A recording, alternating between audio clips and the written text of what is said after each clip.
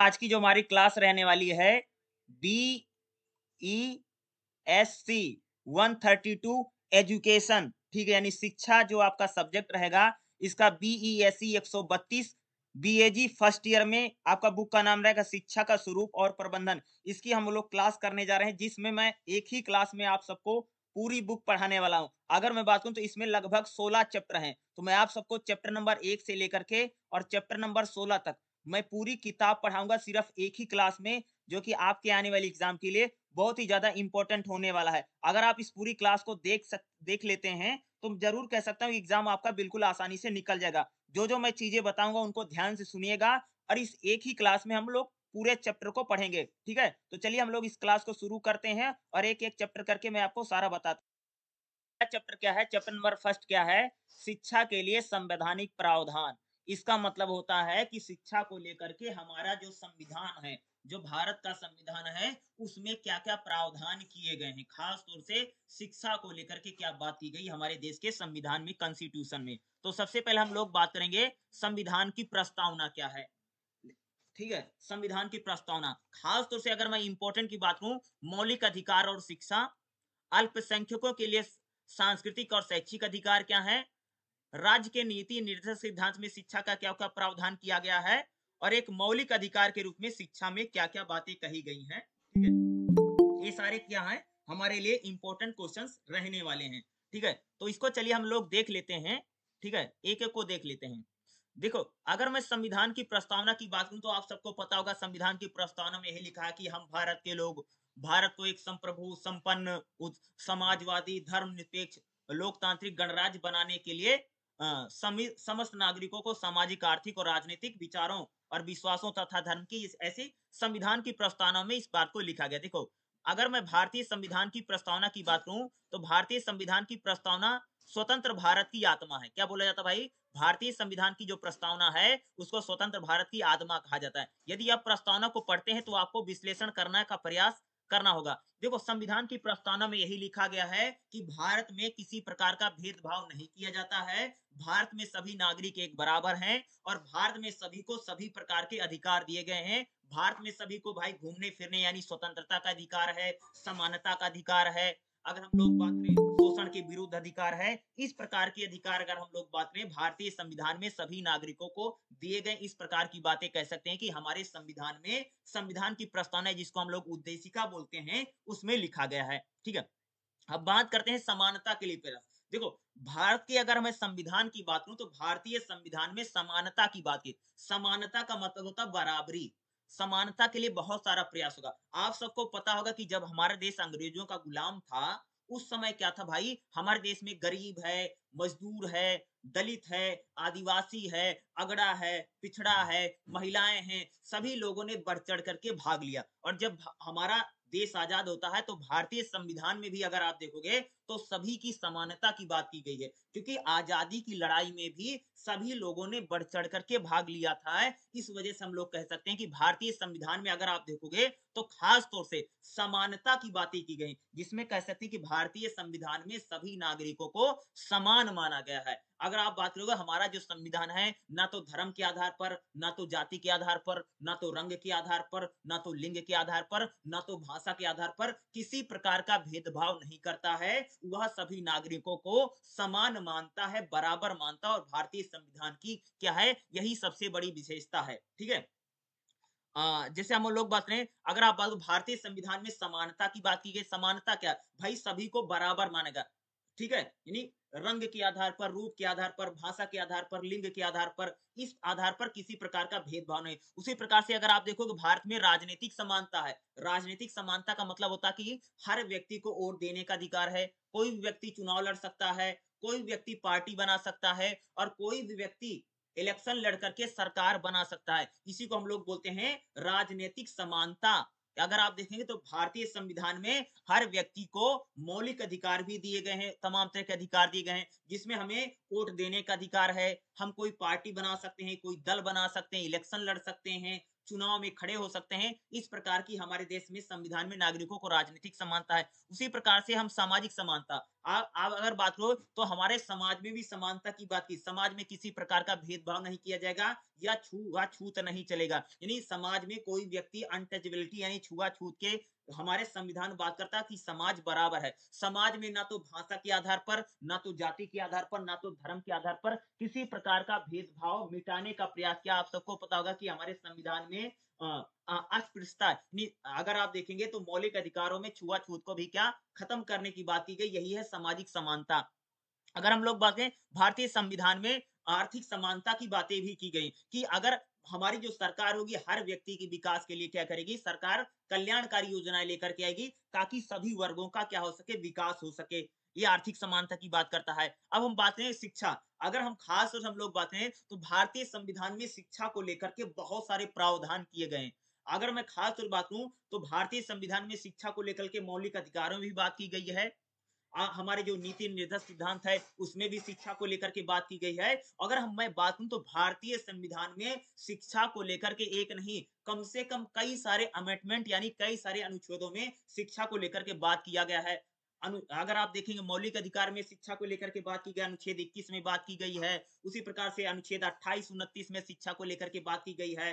अगर हम नीति नीति निर्देशक सिद्धांत देखें, उसमें भी एजुकेशन की बात की है तो अगर आप देखोगे तो शिक्षा में समानता की बातें की गई। आप सब देखते हो ना कि हमारे देश में शिक्षा जो होती भाई, सबको मिलती है। ना तो आप भाषा के आधार पर, ना तो लिंग के आधार पर, ना तो क्षेत्र के आधार पर, ना तो जाति के आधार पर, ना तो धर्म के आधार पर किसी प्रकार का भेदभाव नहीं किया गया है। भारत में सभी व्यक्ति को बराबर या समानता के साथ क्या होती है? शिक्षा दी जाती है। तो अगर हम बात करें, भारतीय संविधान में समानता की बातें की गई हैं, राजनीतिक रूप से, आर्थिक रूप से या सामाजिक रूप से, और शिक्षा में भी हमें समानता की क्या करते हैं? बात करते हैं। और अगर हम बात करें भारत क्योंकि पूरा चैप्टर इसी बात पर डिपेंड किया है कि भारतीय संविधान में शिक्षा को लेकर के क्या बातें की गई। क्योंकि यही क्वेश्चन अगर मैं बात करूँ तो एग्ज़ाम में आपके लिए इंपॉर्टेंट बन सकता है, ठीक है? तो जैसे हम लोग बात करें अगला जो हमारा क्वेश्चन है कि मौलिक अधिकारों में शिक्षा को लेकर के क्या प्रावधान किए गए जैसे एक बात बताऊँ, मौलिक अधिकारों में समानता की बात की ना? समानता में क्या? भाई समानता तो यही बताता ना कि भाई हर व्यक्ति को शिक्षा दिया जाएगा। अगर देखो, मौलिक अधिकार और शिक्षा का मतलब क्या है कि हमारे जो मौलिक अधिकार हैं, आर्टिकल 12 से लेकर के अगर आप सॉरी मान लीजिए, आर्टिकल 14 से मान लीजिए, आर्टिकल 12 या 14 के लिए पूरे हमारे जो मौलिक अधिकार है, मौलिक अधिकारों में शिक्षा को लेकर के कई सारे प्रावधान किए गए जिसके बारे में हम लोग यहाँ पर बात करने वाले हैं। तो अगर मैं मौलिक अधिकारों की बात करूँ तो देखो, मौलिक अधिकारों की बात करें, मौलिक अधिकार का मतलब होता है कि हर व्यक्ति का क्या है, अधिकार है। अगर आपके उस अधिकारों का हनन होता है तो आप डायरेक्ट कोर्ट जा सकते हैं। अब हम बात करें मौलिक अधिकारों में शिक्षा को लेकर के क्या? अगर हम मौलिक अधिकार की बात करें तो मौलिक अधिकार में हमें स्वतंत्रता का अधिकार है समानता का अधिकार देखो स्वतंत्रता का अधिकार है समानता का अधिकार है ये सभी अधिकार मौलिक अधिकार में दिए गए। अब बात करते हैं मौलिक अधिकार अनुच्छेद चौदह में अगर देखोगे बोला गया है विधि के समक्ष समानता है। क्या बोला गया है? आर्टिकल चौदह में क्या विधि मतलब समझते विधि का मतलब कानून। कानून के सामने हर आदमी बराबर है। ये कहता है। विधि के समक्ष समानता का मतलब क्या होता है कि हर व्यक्ति जो है, वह कानून के समक्ष या कानून के समक्ष क्या रहेगा? बराबर रहेगा, इसी को बोल जाता था, विधि के समक्ष समानता। ठीक है? देखो, आर्टिकल 14 में बोला गया है कि भारत में सभी व्यक्ति बराबर हैं और कानून के समक्ष चाहे भाई प्रधानमंत्री का लड़का होगा, चाहे किसान का लड़का होगा, सभी बराबर होंगे। ऐसा नहीं कि प्रधानमंत्री के लड़के ने क्राइम कर दिया तो उसको दो साल की सजा मिलेगी और किसान के लड़के ने क्राइम कर दिया तो उसको फांसी पर चढ़ा दिया जाएगा। ऐसा नहीं, यानी कानून के समक्ष सभी बराबर हैं और कानून में किसी प्रकार का भेदभाव नहीं किया जाएगा और विधि के समक्ष समानता ये भी बताती है कि अनुच्छेद आर्टिकल चौदह ये भी बताता है कि शिक्षा को लेकर के किसी प्रकार का भेदभाव नहीं किया जाएगा।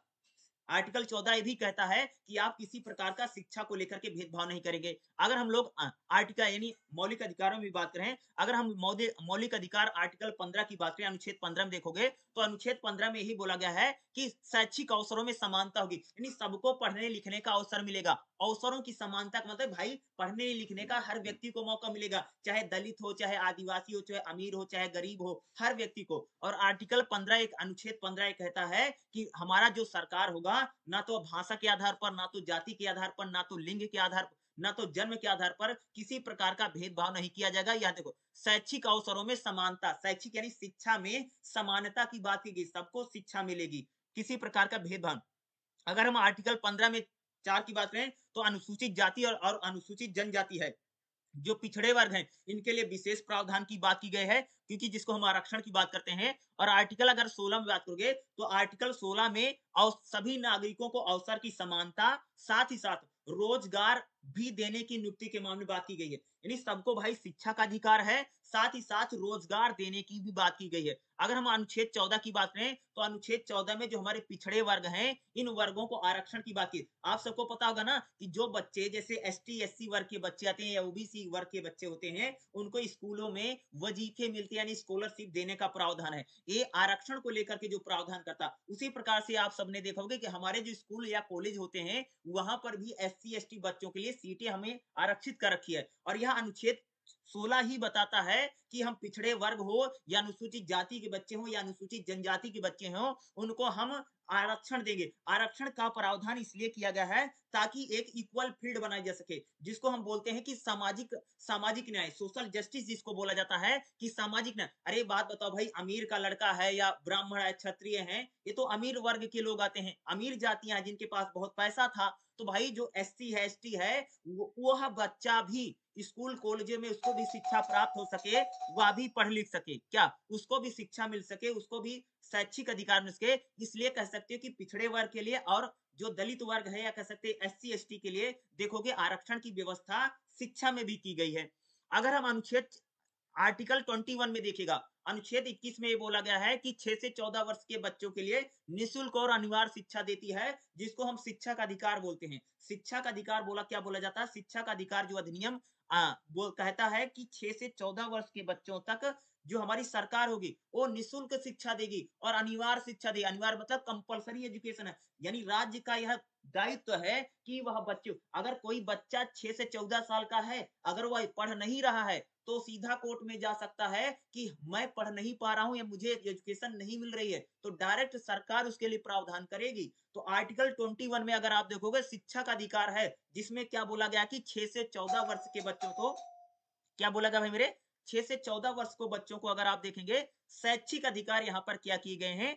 प्राप्त किए गए हैं, ठीक है? यानी छह से चौदह साल का जो बच्चा रहेगा, उसको शैक्षिक अधिकार यहाँ पर दिए गए उसी प्रकार से अनुच्छेद चौबीस में देखोगे, जो अनुच्छेद चौबीस कहता है कि चौदह वर्ष से कम बच्चों को आप कंपनी वंपनी में, यानी आप बंधुआ मजदूरी नहीं करवा सकते हैं, यानी किसी खतरनाक काम में उनको लगाया नहीं जा सकता। है बाल मजदूरी नहीं कराई जा सकती, अनुच्छेद चौदह कहता है।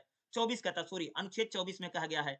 उसी प्रकार से अनुच्छेद अगर 28 देखेंगे तो अनुच्छेद 28 में कहा गया कि धार्मिक स्वतंत्रता की बात करता है। अनुच्छेद 28 किसी बात करता है? धार्मिक स्वतंत्रता। यानी धर्म के आधार पर किसी प्रकार का भेदभाव नहीं करेगा। कोई व्यक्ति किसी भगवान को मान सकता है, किसी भगवान की पूजा अर्चना कर सकता है, इसका प्रावधान किया गया है। ठीक अनुच्छेद अट्ठाईस। लेकिन अगर उसी प्रकार से देखोगे, देखो, जैसे अगर मैंने इसमें बात की ना, कि मौलिक अधिकारों में शिक्षा को लेकर के क्या प्रावधान है तो खास तौर से देखोगे तो मौलिक अधिकारों जो आर्टिकल 21 है ये सबसे इंपॉर्टेंट आर्टिकल है, क्योंकि इसी में शिक्षा की बात की गई है। आर्टिकल 21 को आपको थोड़ा ब्लैक पेन से और थोड़ा अंडरलाइन करके बताना पड़ेगा, क्योंकि इसी में शिक्षा का अधिकार कहा गया और इसमें ये कहा गया कि 6 से 14 साल का जो बच्चा होगा, हम उसको निःशुल्क और अनिवार्य शिक्षा देंगे। ये बहुत इंपॉर्टेंट है, ठीक है? खास तौर से ये आपके लिए ज़्यादा इंपॉर्टेंट रहने वाला है, ठीक है? ये सेगमेंट जो रहेगा, ठीक है? इसको लेकर के अगर हम लोग बात करें, ठीक है? दूसरा अगर आप देखें, अल्पसंख्यकों के शैक्षिक और सांस्कृतिक और शैक्षिक अधिकार क्या है? अल्पसंख्यक जो वर्ग है। देखो, अगर हम बात करें अल्पसंख्यक वर्गों की अगर हम बात करेंगे तो आर्टिकल उनतीस में, अल्पसंख्यक मतलब समझते हो, जो खास तौर से अल्पसंख्यक जो वर्ग है, अल्पसंख्यक भारत में कौन है? जिसे खास तौर से, अगर आप देखो अगर मैं धर्म के आधार पर बात करूँ तो जैसे मुस्लिम, ईसाई या सिख जैन पारसी ये सारे अल्पसंख्यक वर्ग में आते हैं। तो अल्पसंख्यकों के लिए सांस्कृतिक और शैक्षिक अधिकार क्या किए गए हैं? जो अल्पसंख्यक वर्ग के लोग होंगे, उसमें आर्टिकल उनतीस में बोला गया कि अल्पसंख्यकों के हितों के लिए सरकार क्या करेगी? उनको गारंटी देगी। भारत के राज्य क्षेत्र में किसी भी भाग पर निवासी नागरिकों को किसी भूभाग पर अपनी भाषा, लिपि, संस्कृति को बनाए रखने का अधिकार होगा। जो अल्पसंख्यक वर्ग है, वो अपनी धर्म को, अपनी भाषा को और अपनी संस्कृति को बचाने के लिए वो प्रयास कर सकता है या उसका क्या होगा? अधिकार होगा अल्पसंख्यक वर्ग के। दूसरा क्या कहा गया? जो अल्पसंख्यक वर्ग के उसमें उनतीस में ही बोला गया है कि वह लोग राज्य उनकी मदद करेगा ताकि वो अपनी भाषा, जाति और भाषा आज को क्या वंचित नहीं किया जा सकता यानी अल्पसंख्यक वर्ग, वर्गों को उनकी जो भाषा है, उनकी जो संस्कृति, उनका जो कल्चर है या उनका जो धर्म है, उसको बचाने के लिए क्या करेगा? राज्य प्रयास करेगा। और अनुच्छेद तीस में क्या बोला गया? अनुच्छेद आर्टिकल तीस में ये बोला गया कि जो अल्पसंख्यक वर्ग के लोग हैं, वह अपनी भाषा, वह अपने धर्म का प्रचार प्रसार कर सकते हैं, इसके अलावा स्कूल खोल सकते हैं, कॉलेज खोल सकते हैं और प्रशासनिक काम भी कर सकते हैं। आर्टिकल तीस में बोला गया है कि जो अल्पसंख्यक वर्ग के लोग हैं वह अप, अपने धर्म को लेकर को धर्म को बढ़ाने के लिए या अपनी भाषा का प्रचार प्रसार करने के लिए वह विद्यालय खोल सकते हैं स्कूल खोल सकते हैं। ये अनुच्छेद तीस में बोला गया है और खास तौर से अनुच्छेद जो उनतीस और तीस है यह अल्पसंख्यक वर्ग की बात करता है अनुच्छेद आर्टिकल 29 ये कहता है अनुच्छेद उनतीस से कहता है कि जो अल्पसंख्यक वर्ग के लोग हैं अपनी भाषा, संस्कृति, कल्चर खान पान पहनावा को बचाव करेंगे। और अनुच्छेद तीस में बोला जाता है कि जो अल्पसंख्यक वर्ग के लोग हैं, वह क्या कर सकते हैं, अपनी धर्म और भाषा, यानी अपनी धर्म भाषा को बढ़ाने के लिए शैक्षिक संस्थान, यानी टीचिंग इंस्टीट्यूट जो होता है, यानी खास तौर से एजुकेशन के संस्थानों को क्या कर सकते हैं, खोल सकते हैं और यह कार्य को कर सकते हैं। ठीक है? ये खास तौर से अल्पसंख्यकों को लेकर के बात की गई। अब हम बात करें राज्य के नीति निर्देशक सिद्धांत। देखो, जब हमारा देश आज़ाद हुआ ना तो बहुत सारे बहुत सारे नियम कानूनों को तुरंत लागू कर दिया गया। भैया, जिस दिन देश आज़ाद हुआ और 26 जनवरी 1950 को सारे नियम लागू हुए लेकिन सरकार उस उस समय हमारी सरकार के पास इतना पैसा नहीं था। इत, इतना बजट नहीं था और इतने संसाधन नहीं थे। इसलिए क्या किया गया? संविधान निर्माता जो थे उन्होंने बोला कि जो चीज़ें राज्य अभी कर सकता राज्य में सरकार समझना राज्य अभी कर सकता हम लोग उसको मौलिक अधिकार में डाल देते हैं और जो राज्य यानी जो हमारी सरकार फ्यूचर में करेगी या भविष्य में करेगी उसको हम राज्य के नीति निर्देशक सिद्धांत में राज्य के नीति निर्देशक सिद्धांत का मतलब होता है कि ऐसे नियम कानून जो आने वाले समय में राज्य यानी सरकार इसको इंप्लीमेंट करेगी, यानी इनको लागू करने का प्रयास करेगी। तो राज्य के जो नीति निर्देशक सिद्धांत है, अनुच्छेद अनुच्छेद छत्तीस से लेकर के, कब, कहाँ से स्टार्ट होता है? अनुच्छेद छत्तीस से लेकर के अनुच्छेद इक्यावन तक चलता है। छत्तीस से इक्यावन तक क्या है? ऐसे बातें कही गई हैं जो हमारी सरकार जो होगी, वह आने वाले समय में काम करेगी। इसी को बोला जाता है राज्य के नीति निर्देशक सिद्धांत। और हम बात करें, अब हम लोग बात करेंगे राज्य के जो नीति निर्देशक सिद्धांत है, उनमें शिक्षा को लेकर के एजुकेशन को लेकर के क्या क्या बातें कही गई हैं। अगर मैं बात करूँ तो अगर आप देखोगे, अनुच्छेद इकतालीस में बोला गया है कि राज्य जो होगा, अपनी आर्थिक क्षमताओं का विकास और सीमाओं के भीतर काम करने का अधिकार और शिक्षा के अधिकार को सुरक्षित है देखो, अनुच्छेद इकतालीस में बोला गया है कि जो हमारी सरकार है वह शिक्षा के अधिकार को सुनिश्चित करने का प्रयास करेगी। क्योंकि देखो भाई, जब हमारा देश आज़ाद हुआ ना तो उस समय शिक्षा का अधिकार लोगों को नहीं दिया गया था। लेकिन बाद में मिला ना शिक्षा का अधिकार ना तो बहुत पहले आर्टिकल इकतालीस में पहले इस बात को अगर आप बोलोगे तो बोल दिया गया था, ठीक? इकतालीस में इकतालीस में अनुच्छेद इकतालीस में क्या बोला गया है कि राज्य का यह काम होगा राज्य का यह काम होगा कि वह काम करने का अधिकार और शिक्षा का अधिकार लोगों को देगा। भाई, काम करने का अधिकार भी लोगों को आज के समय मिल गया है और शिक्षा का अधिकार भी देने का काम कौन करेगा? ये अगर अनुच्छेद इकतालीस में किसमें बोला गया है, अगर आप देखेंगे, राज्य के नीति निर्देशक सिद्धांतों में शिक्षा को लेकर के प्रावधान किया गया है। और अनुच्छेद पैंतालीस में क्या बोला गया? है अनुच्छेद 45 में कहा गया है कि राज्य जो होगा, वह निशुल्क शिक्षा और अनिवार्य शिक्षा की नींव लिखी गई। देखो, जब हमारा देश आज़ाद हुआ था ना, उन्नीस उन्नीस में बोला गया था कि राज्य लोगों को निशुल्क शिक्षा देगा और अनिवार्य शिक्षा। उस समय तो हमारे सरकार के पास इतना पैसा नहीं था कि भाई सबको निशुल्क शिक्षा और अनिवार्य शिक्षा दे दे। आज तो राज्य दे रहा ना, और इसी के तहत कह सकते कि अनुच्छेद पैंतालीस में जो बोला गया था डीपीएसपी यानी जिसको राज्य के नीति सिद्धांत में, आज अगर देखोगे तो छह से चौदह वर्ष के बच्चों को अगर आप देखोगे तो निःशुल्क और अनिवार्य शिक्षा दी जा रही, जो जिसको हमने मौलिक अधिकार में लेकर के गए हैं। तो नीति सिद्धांत का मतलब होता कि ऐसी बातें जो जब देश आज़ाद हुआ था, उस समय बताई गई थी, आने वाले समय में राज्य करेगा। अब धीरे धीरे सरकार इसको क्या कर रही इंप्लीमेंट करें जैसे अनुच्छेद ये भी बोला गया कि राज्य जो होगा वो भाषा के आधार पर वंश के आधार पर किसी प्रकार का क्या करेगा? भेदभाव नहीं करेगा। कोई भी शैक्षिक संस्थान होगा तो हर व्यक्ति वहाँ पर एडमिशन ले सकता। जैसे मान लो तुम कहीं एडमिशन लेने जाते हो तो तुमको भाषा के आधार पर, जाति के आधार पर, लिंग के आधार पर इस प्रकार का किसी प्रकार का भेदभाव नहीं किया जाएगा। और अनुच्छेद 45 में यही बोला गया है कि भाई, राज्य यह काम करेगा कि सभी को निःशुल्क और अनिवार्य शिक्षा देने का प्रावधान किया गया है। ठीक है? अगर हम बात करें अनुच्छेद 21 में भी आप सबको पता होगा, आर्टिकल 21 में आप, मैंने आपको बता ही दिया कि जिसमें कहा गया कि सबको भाई आपको क्या करना है कि निःशुल्क और अनिवार्य शिक्षा देने की क्या की गई है? बात की गई। अगर उसी प्रकार से देखोगे, अनुच्छेद 45 में अनुच्छेद पंद्रह और उनतीस दो में, अनुच्छेद पंद्रह तीन में, अनुच्छेद छियालीस और उनतीस में भारत के सभी, भारत के सभी भागों में सरकार को शैक्षिक अवसरों के बराबरी, यानी क्या बोला गया कि सरकार सभी वर्गों में शिक्षा की समानता को लाने का प्रयास करेगी। संविधान ये कहता है कि भारत की जो सरकार होगी, वह सभी को अनिवार्य शिक्षा देगी, यानी हर व्यक्ति को शिक्षा मिलेगी और शिक्षा मिलने में किसी प्रकार का आपको भेदभाव नहीं करना है, ना तो जाति के आधार पर। भाई, कोई भेदभाव नहीं कर देखो, अनुच्छेद छियालीस में, अनुच्छेद छियालीस में बोला गया है कि राज्य जनता के दुर्बल दुर्बल वर्ग मतलब जो कमज़ोर, जैसे अनुसूचित जाति के वर्ग हैं, अनुसूचित जो जनजाति है, इनके लिए भी शिक्षा के विशेष प्रावधान करेगी। अनुच्छेद छियालीस में क्या बोला गया था? राज्य के नीति निर्देशक सिद्धांत में ये बोला गया, भाई मेरे, कि जो हमारी सरकार होगी, वह जो जनता के दुर्बल जो गरीब वर्ग है जैसे एस टी है एस सी है, पिछड़े वर्ग के लोग हैं, इनके लिए शैक्षिक अधिकारों को की बात करेगी। और आगे आने वाले समय आप सबको पता है कि हमारी सरकार जो है, अगर आप देखो एस सी उनको आरक्षण दे करके उनको शैक्षिक अधिकार दे रहे स्कूल, कॉलेज में उनके लिए हमने क्या कर रखा है? सीटें आरक्षित कर रखी है। तो ये किसमें किया गया है, राज्य के नीति निर्देशक सिद्धांतों में कहा गया है, ठीक है? भाई, भाषा नीति का मतलब होता है, भाषा को लेकर के हमारे देश में क्या क्या नियम बनाए गए तो सबसे पहले अगर आप देखोगे, हमारे देश में भाषा को लेकर के तीन बातें की गई।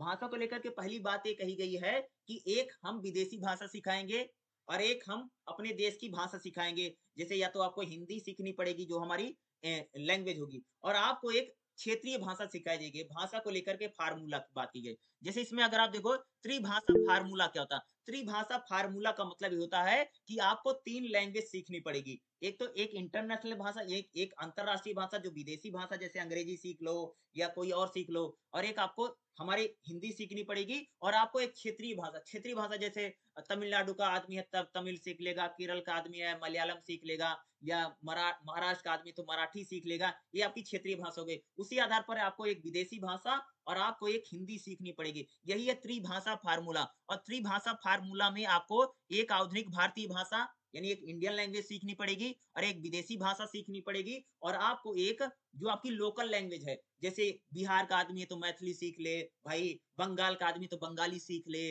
गुजरात का आदमी तो गुजराती सीख ले, महाराष्ट्र के लोग हैं तो मराठी सीख लें, मराठी पढ़ेंगे। यानी हमको तीन भाषाएँ पढ़ानी है। ये राज्य, राज्यों में भी अगर आप देखो तीन भाषा को लेकर के प्रावधान है। यही है त्रिभाषा सूत्र, यही यही त्रिभाषा फार्मूला। यानी भाषा को लेकर के क्या बात की? थोड़ा हम लोग बात कर ले।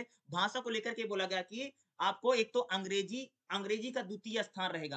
यानी आपको अंग्रेज़ी सिखानी पड़ेगी, चाहे आप पहली सिखाओ या सेकेंडरी में सिखाओ। अंग्रेज़ी सिखानी है। दूसरा आपको हिंदी सिखानी है। हिंदी का प्रथम स्थान रहेगा, इसको बोला गया। और तीसरी लैंग्वेज आपको क्या सिखानी रहेगी? आपको क्षेत्रीय भाषा सिखानी है, ठीक है? हिंदी हिंदी संस्कृत में एक भाषा सिखा सकते हो, अंग्रेज़ी सिखा सकते हो, और एक आपको क्या सिखानी है? लोकल लैंग्वेज सिखानी, जो आपको भारतीय भाषा रहेगी। ये त्रिभाषा फार्मूला यही कहेगा। और राष्ट्रीय शिक्षा नीति 2020 में इसको लेकर के भी बात बोली, त्रिभाषा फार्मूला। त्रिभाषा फार्मूला वही होता है कि आपको तीन लैंग्वेज सिखाई जाएगी। या स्कूल, कॉलेजों में भी अगर आप देखोगे तो आपको तीन भाषाओं में पढ़ाई करवाई जाएगी। क्या? तीन लैंग्वेज में पढ़ाएँगे लोग, ठीक है? यही हमारा क्या होता है? त्रिभाषा फार्मूला होता है, ठीक है? त्रिभाषा फार्मूला आपके लिए इंपॉर्टेंट हो सकता है। इसको ज़रूर। भाई, मौलिक अधिकारों में शिक्षा का क्या क्या स्वरूप है? मौलिक अधिकारों में शिक्षा को लेकर के क्या बातें की मैंने आपको शुरू बता दिया। अनुच्छेद 21 में जैसे क्या बोला गया? अनुच्छेद 21 में ये बोला गया कि राज्य 6 से 14 वर्ष के बच्चों को निःशुल्क और अनिवार्य शिक्षा देगा, यह राज्य का काम होगा। अनुच्छेद 45 में क्या बोला गया? अनुच्छेद 45 में बोला गया है कि जो राज्य के नीति सिद्धांत है, उसमें बोला गया ना कि छह से कम छह वर्ष से और चौदह वर्ष की आयु के बच्चों को अगर आप देखोगे, राज्य पूरी उम्र जो उनको क्या देगा? शिक्षा देने की बात करेगा। अनुच्छेद इक्यावन में क्या बोला कि राज्य क्या करेगा? इसको जोड़े। यानी ये ये भी बोला गया कि माता पिता का यह मूल अधिकार होगा, यह यह कर्तव्य है। माता पिता का यह कर्तव्य है कि वह अपने बच्चों को, जो अगर उनका बच्चा छह से चौदह साल का है तो उनको बच्चों को पढ़ाना है। अगर कोई माता पिता अपने छह से चौदह साल के बच्चों को नहीं पढ़ा रहे तो सरकार उनको, उन पर मुकदमा चला सकती है, उनको जेल भी भेजने का प्रावधान है। भाई ये कर्तव्य है, माँ बाप का ये कर्तव्य है कि अगर आपका बच्चा छह से चौदह साल का है तो उसको पढ़ाना ही पढ़ाना ये नहीं कि कहीं पर जाकर के काम करवाना है, नौकरी करवानी है, नहीं करवाना है, आपको पढ़ाना ही पड़ेगा। इस प्रकार का भी प्रावधान अगर आप देखेंगे तो किया गया है शिक्षा को लेकर के अगर आप देखेंगे तो शिक्षा के अधिकार को लेकर के कई सारी विशेषता है। शिक्षा में खास तौर से यही है कि छह से चौदह साल के बच्चों का अनिवार्य शिक्षा है और जो आपका विद्यालय है, स्कूल जो होगा, आपका एक से तीन किलोमीटर के बीच में होना चाहिए। जो प्राथमिक विद्यालय होगा, कोई भी बच्चा, अगर कोई भी स्टूडेंट जो है, बच्चा है, वह एक से तीन किलोमीटर के बीच में उसका एक प्राथमिक विद्यालय होना चाहिए, सरकार का प्रावधान है। दूसरा, सरकार क्या करेगी, जो वंचित बच्चे हैं, जो गरीब बच्चे हैं, उनको वजीफा देने का प्रयास करेगी या उनके लिए वित्तीय पुनर्भरण करेगी। जैसे देखो स्कूलों में स्कॉलरशिप मिलती है। तो ये भी प्रावधान किया, शिक्षा को लेकर के प्रावधान है। प्रवेश के लिए अगर आप देखोगे स्क्रीनिंग की जाएगी। यानी जो बच्चे अगर जो बच्चे पिछड़े वर्ग के हैं, उनको स्कूलों में लाने के लिए विशेष प्रावधान होगा। आयु प्रमाण पत्र को नहीं देखा जाएगा। यानी किसी बच्चे को भी अगर अगर उसके पास आयु प्रमाण पत्र नहीं है, भाई उसकी कितनी एज है, उसको नहीं देखा जाएगा, तब भी उसको एडमिशन देना ही देना है। इसका भी, और बच्चों को मारना मारना, पीटना नहीं है शिक्षा का अधिकार में। भाई मास्टर टीचर बच्चे को मार नहीं सकता है। यानी बच्चों को शारीरिक दंड और मानसिक उत्पीड़न का निषेध है टीचर मार नहीं सकता है, ठीक है? दूसरा, जो बच्चे एस टी वर्ग के होंगे और खास तौर से उनको क्या मिलेगा? इन बच्चों को विद्यालय छोड़, नहीं छोड़े, इसके लिए सरकार या इनके लिए सरकार क्या करेगी? हमारी प्रयास करेगी। इस शिक्षा को लेकर के अगर आप देखेंगे, तमाम तरह के प्रयास किए गए हैं ताकि सभी को शिक्षा एजुकेशन दी जा सके। ठीक है? अगर हम लोग दिव्यांग बच्चों की बात करें तो दिव्यांग यानी ऐसे जो हैंडीकैप यानी विकलांग जिसको हम पीडब्ल्यू कैंडिडेट बोलते हैं, उनको लिए भी एक शिक्षा को लेकर के प्रावधान किया गया है कि सरकार उनके लिए विशेष प्रावधान करेगी ताकि हम उनको भी शिक्षा दे सके, उनको भी एजुकेशन दी जा सके। खास तौर से दिव्यांग अधिकार अधिनियम जो बना है, P R P W D अधिनियम 2016 दो 2016 में बोला गया है कि जो भी दिव्यांग बच्चे होंगे, जिसको हम दिव्यांग बोलते हैं, उनको सरकार क्या फ्री और मुक्त एजुकेशन देने का क्या करेगी? काम करेगी, इसको प्रावधान किया गया है। तो पहला चैप्टर लगभग अगर आप देखेंगे तो आपका क्या होगा भाई मेरे, समाप्त हो गया पहला चैप्टर चलिए अब हम लोग दूसरा चैप्टर देख लेते हैं, ठीक है? अगला जो क्या चैप्टर नंबर टू देखिएगा, शिक्षा आयोग, एक समीक्षा कौन कौन से शैक्षिक आयोग बनाए गए हैं। तो अगर हम शैक्षिक आयोग की बात करूँ, जैसे विश्वविद्यालय आयोग है। विश्वविद्यालय में यूजीसी हम जिसको बोलते हैं ना यूनिवर्सिटियों के लिए बनाया गया है। पहले तो भाई ऐसे कॉलेज होते थे। फिर जितने कॉलेज होते थे, उनको रेगुलेट करने के लिए एक आयोग बना था, जिसको हम बोलते हैं विश्व विश्वविद्यालय शिक्षा आयोग, ठीक है? यूजीसी के नाम से इसको जाना जाता था, सारी यूनिवर्सिटी इसी इसी में हैंडल होती हैं, बनाया गया। उसी प्रकार से देखो माध्यमिक शिक्षा आयोग बनाया गया है। उन्नीस सौ तिरपन में बना था। शिक्षा आयोग आया था, ठीक है? और राष्ट्रीय ज्ञान आयोग क्या है? तो खास तौर से इसमें जैसे विश्वविद्यालय आयोग है, इसमें मुझे लगता है माध्यमिक शिक्षा आयोग हो सकता है इंपॉर्टेंट होता है। दूसरा शिक्षा आयोग क्या है? इसको हम दे, लोग देखेंगे। सभी देखेंगे जो जो इंपॉर्टेंट इसमें रहने वाला। खास तौर से विश्वविद्यालय यानी विश्वविद्यालय शिक्षा आयोग क्या है? यूजीसी को लेकर के जो बातें की गई है। यूनिवर्सिटी ग्रांट कमीशन हम जिसको बोलते हैं, देखिएगा। खास तौर से स्वतंत्रता के बाद ना लोगों को उच्च शिक्षा की बहुत ज़्यादा ज़रूरत थी। आप सबको पता ना, जब हमारा देश आज़ाद होता है, तब उच्च शिक्षा को लेकर के बहुत ज़्यादा बात की गई थी। इसलिए जो हमारे देश में कॉलेज होते हैं, उन कॉलेजों को रेगुलेट करने के लिए, यानी हम कह सकते हैं संचालित करने के लिए विश्वविद्यालय शिक्षा आयोग का गठन किया गया, जिसको हम यूजीसी बोलते हैं। अगर आप देखेंगे, बनारस हिंदू विश्वविद्यालय के कुलपति जो थे, और आपको पता होगा कि हमारे देश के जो राष्ट्रपति हैं, डॉक्टर राधा कृष्णन ठीक है? डॉक्टर सर्वपल्ली जो राधा कृष्णन थे, उनकी अध्यक्षता में विश्वविद्यालय आयोग की नियुक्ति की गई है, ठीक है? जिसके तहत कह सकते हैं, उन्होंने उस आयोग ने अपनी रिपोर्ट दी थी कि भारत में उच्च शिक्षा के लिए, किसके लिए भाई मेरे? भारत में उच्च शिक्षा के लिए हमें एक एक आयोग बनाना चाहिए, जिसके तहत अगर आप देखोगे बना था। अगर आप देखें, विश्वविद्यालय आयोग की क्या कौन सी संतुति, यानी कौन कौन सी सिफारिशें हैं? तो विश्वविद्यालय जो आयोग, उसने क्या बोला था कि ज्ञान को विकसित करने करने और जीवन को जन जन्मजात योग्यता को जागृत करना है। विश्वविद्यालय की इसलिए स्थापना की ताकि हम ज्ञान और संचार को बढ़ा सकें। विश्वविद्यालय की इसलिए स्थापना की ताकि लोकतंत्र को प्रशिक्षण किया जा सके, ठीक है? मन को निडर बनाया जा सके, ठीक है? सांस्कृतिक विरासत को बचाने के लिए कह सकते हैं विश्वविद्यालय आयोग का यहाँ पर गठन किया गया है।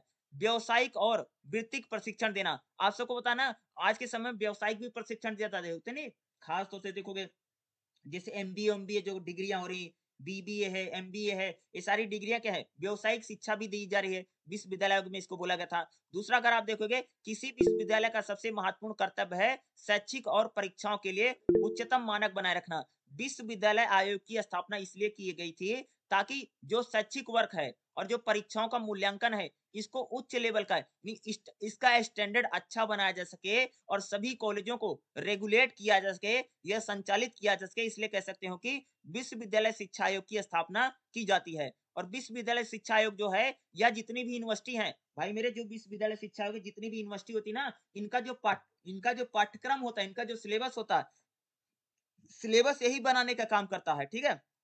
विश्वविद्यालय पाठ्यक्रमों में प्रवेश के मानक अगर कोई भी, अगर यूनिवर्सिटी में, अगर आपको किसी भी यूनिवर्सिटी में पढ़ाई करनी है तो कम से कम आपको बारहवीं कक्षा पास होना ज़रूरी है, तभी आप किसी यूनिवर्सिटी में जाकर के पढ़ाई कर सकते हैं। यानी जो खासतौर से बी ए करना है एमए करना है या एम ए करना है, उसके लिए। विश्वविद्यालय विद्यालय शिक्षा दस या बारह के बाद छात्रों को अलग अलग व्यवसाय में हस्तांतरित करने के लिए काम किया गया है, ठीक है? कोई बच्चा अगर इंटरमीडिएट यानी बारहवीं की पढ़ाई कर लेता है तो विश्वविद्यालय के पाठ्यक्रम को आयोजित किया जाएगा। ठीक है? और खास तौर से आप सबको पता होगा कि जो हमारी यूनिवर्सिटी होती है और हमारे जो कॉलेज होते हैं, उसमें लोग बारहवीं करने के बाद ही तो जाते हैं ना, जैसे भाई कोई बीए करने गया है, कोई बीएससी करने गया है तो कोई बीकॉम करने गया है तो वो विश्वविद्यालय वही है तो विश्वविद्यालय। और खास तौर से जो हमारी विश्वविद्यालय है यूनिवर्सिटी होती है, वहाँ पर अगर आप ऑडिटोरियम हॉल बनाया जाता है, पुस्तकालय यानी होता नहीं लाइब्रेरी वहाँ पर होती है खेलने कूदने की बहुत सारी चीज़ होती है, इसकी भी वहाँ पर अगर आप देखोगे, व्यवस्था की गई है, ठीक है? यानी शिक्षा को बेहतर बनाने के लिए कह सकते हो कि विश्वविद्यालय आयोग की क्या है, यहाँ पर स्थापना की गई है, ठीक है? शिक्षा को एजुकेशन बना ये उसको अच्छी तरीके से रेगुलेट किया जा सके। अगर आप देखोगे, उच्च शिक्षा को रेगुलेट करने के लिए, उच्च शिक्षा का संचालन करने के लिए कह सकते हो कि विश्वविद्यालय की की गई। उसी प्रकार से अगर हम देखेंगे, माध्यमिक शिक्षा आयोग क्या है? तो अगर माध्यमिक शिक्षा आयोग की अगर हम बात करोगे, इसकी इसको लेकर के अगर आप देखोगे तो इसको डॉक्टर लक्ष्मण स्वामी मुदालियर इसको मुदा, मुदालियर आयोग के भी नाम से जाना जाता है जिसको माध्यमिक शिक्षा आयोग की बात की जाती है। माध्यमिक शिक्षा मतलब समझते हो? माध्यमिक शिक्षा की माध्यमिक शिक्षा का सिंपल सा मतलब होता है भाई मेरे कि ये करना है जो हमारा प्राथमिक होता है और जो जूनियर होता है उसको हम बोलते हैं माध्यमिक शिक्षा आयोग। क्योंकि भारत में माध्यमिक शिक्षा के सभी पहलुओं को वर्तमान की रिपोर्ट आई थी जिसमें कह सकते हो कि माध्यमिक शिक्षा आयोग का गठन किया गया था।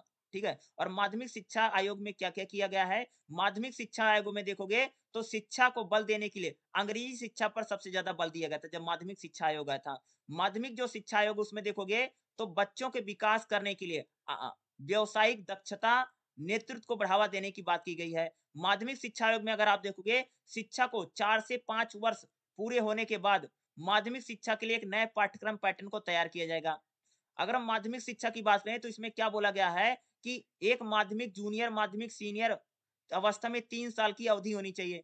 होता नहीं? जैसे खास तौर से क्लास एक से लेकर के पाँच तक, क्लास छह से लेकर के आठ तक, और क्लास नौ नौ और दस, और क्लास ग्यारह और बारह, ठीक है? इसको लेकर के बात की। माध्यमिक किसको बोला जाता है? यानी क्लास छह से लेकर के आठ तक को क्या बोला जाता है? माध्यमिक बोला जाता है, ठीक है? और यानी नौ, दस को क्या बोला जाता है? उच्च माध्यमिक बोला जाता है, ठीक है? माध्यमिक खास तौर से, देखो अगर हम यानी आयोग ने इंटरमीडिएट इंटरमीडिएट माने बारहवीं कक्षा को समाप्त करने का भी सुझाव दिया था, बारहवीं कक्षा को विश्वविद्यालय में जोड़ा जाना चाहिए। जब ये माध्यमिक शिक्षा आयोग आया था, इसने बोला था कि जो बारहवीं जो बारहवीं क्लास है, इसको यानी यूनिवर्सिटी में डाल दीजिए और खास तौर से ग्यारहवीं क्लास तक ही स्कूल होना चाहिए, यानी जिसको हाई स्कूल में जोड़ा जाना चाहिए। ग्यारहवीं को भैया हाई स्कूल में जोड़ दो और जो बारहवीं क्लास है, इसको कॉलेज में ले जाकर के ऐड करने की किसने बात सिफारिश की थी? ये जो अगर आप देखोगे, आपका क्या है? माध्यमिक शिक्षा आयोग ने सिफारिश की थी। दूसरा, अगर माध्यमिक शिक्षा आयोग की बात करें तो इसने बोला था कि आपको क्या करना है? शिक्षा का शिक्षा के लिए क्या करना है? शिक्षा में नए नए विचार आए, इसके लिए हमें बढ़ावा देना है। दूसरा क्या?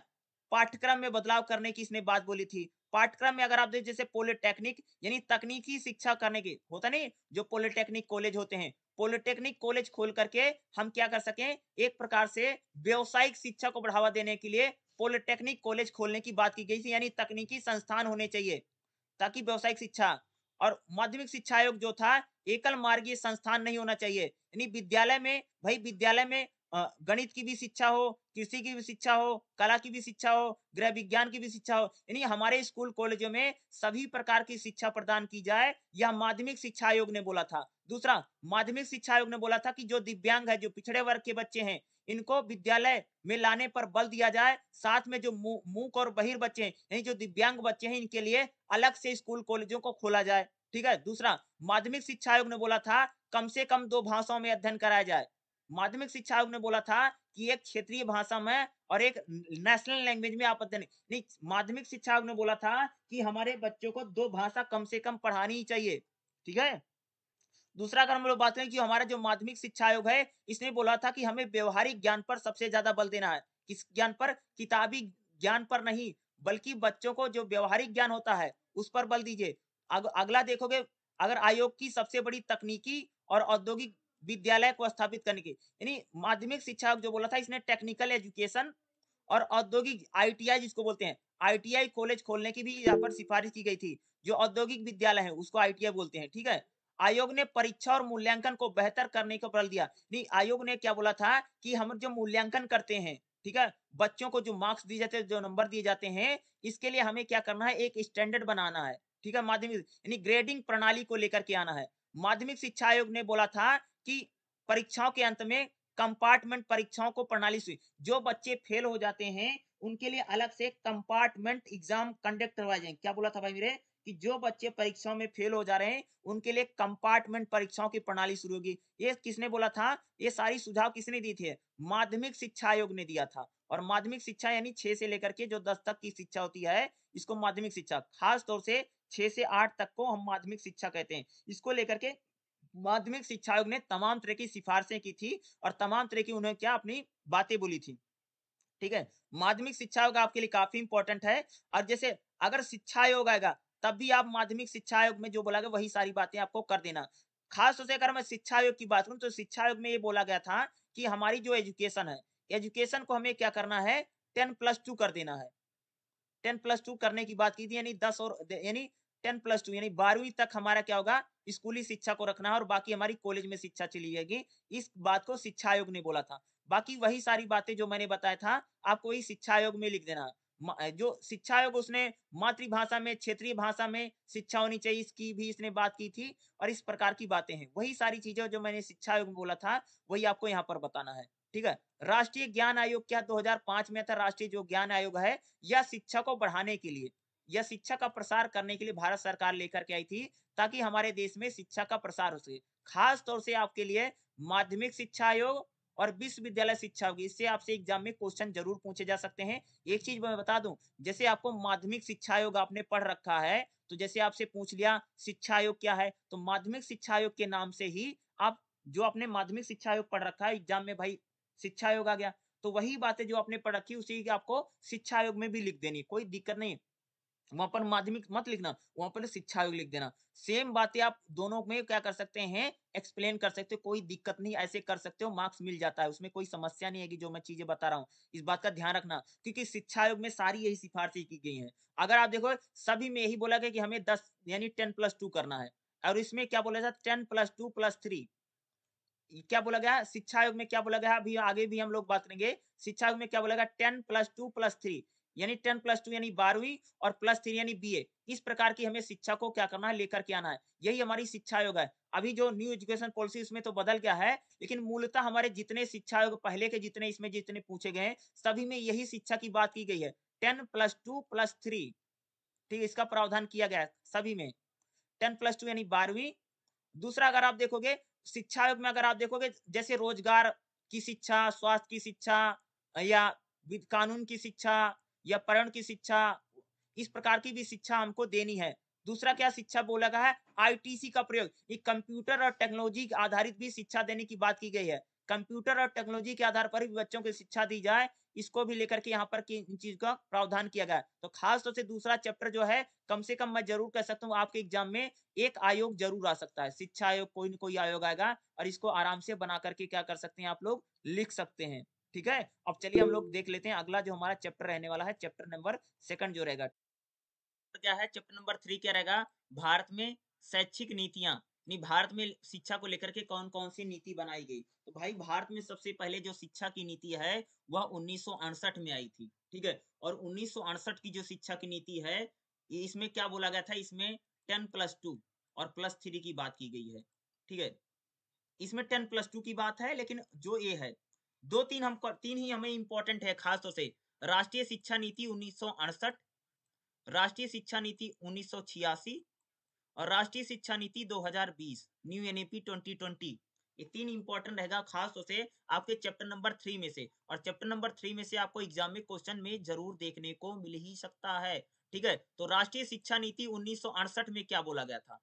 कब बोला गया था? जिसको हम लोग खास तौर से कोठारी आयोग के नाम से जानते हैं।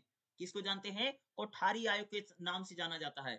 इसको कोठारी नीति भी कह सकती है। कोठारी आयोग उन्नीस में शिक्षा के लिए क्या क्या प्रावधान किए गए? तो जो भाई उन्नीस में जो कोठारी आयोग आता उसने शिक्षा को लेकर के क्या क्या बोला था? तो सबसे पहली बात बोली थी कि निशुल्क और अनिवार्य शिक्षा देना चौदह वर्ष के आयु तक के बच्चों के लिए निःशुल्क और अनिवार्य शिक्षा देनी किसने बोला था?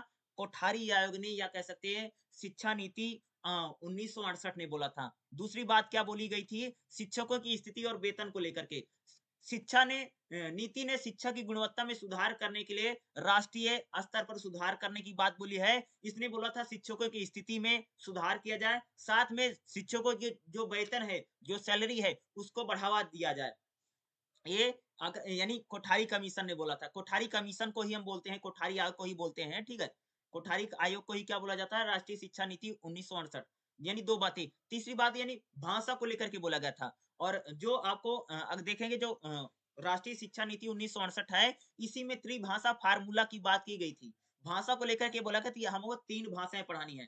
तीन भाषाओं में क्या बोला गया था कि आपको एक दक्षिण भारत की भाषा रहेगी, एक उत्तर भारत की भाषा इसमें भाषा को लेकर के यानी एक हिंदी और अंग्रेज़ी के अलावा एक भाषा को हमें और शामिल करना पड़ेगा। यानी एक तो आप इंग्लिश पढ़ाएँगे, एक आप हिंदी पढ़ाएँगे और एक आप क्षेत्रीय भाषा पढ़ाएँगे। ये त्रिभाषा फार्मूला को लेकर के किसमें बात की गई है, अगर आप देखेंगे तो राष्ट्रीय शिक्षा नीति उन्नीस सौ अड़सठ में बोला गया है।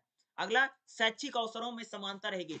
देखो अगर आप देखोगे, राष्ट्रीय शिक्षा नीति जो उन्नीस सौ अड़सठ है, इसमें शिक्षा, भाई शिक्षा सबको मिलेगी। शिक्षा में किसी आधार पर भेदभाव नहीं किया जाएगा। न तो भाषा के आधार पर, न तो लिंग के आधार पर, न तो जाति के आधार पर, न तो धर्म के आधार पर किसी भी आधार पर किसी भी प्रकार का भेदभाव नहीं किया जाएगा। यह शैक्षिक अवसरों की समानता की बात करता है, ठीक है?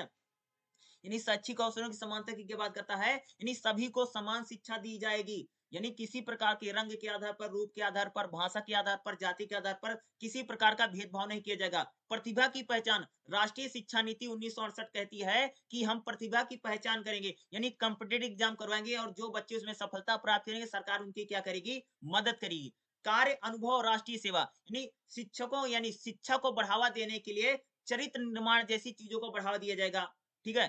अगला देखोगे विज्ञान शिक्षा का अनुसंधान, यानी जो विज्ञान की शिक्षा है उसको बढ़ावा दिया जाएगा। खास तौर से साइंस की जो शिक्षा है उसको बढ़ावा देने के लिए किसमें बोला गया था? राष्ट्रीय शिक्षा नीति उन्नीस में बोला गया था। हमें विज्ञान की जो शिक्षा है, विज्ञान की शिक्षा को हम प्राथमिकता उच्च प्राथमिकता देंगे। साथ ही साथ आर्थिक विकास को गति देने के लिए गणित और विज्ञान को पूरे विद्यालय में पढ़ाया जाएगा। गणित और विज्ञान की शिक्षा।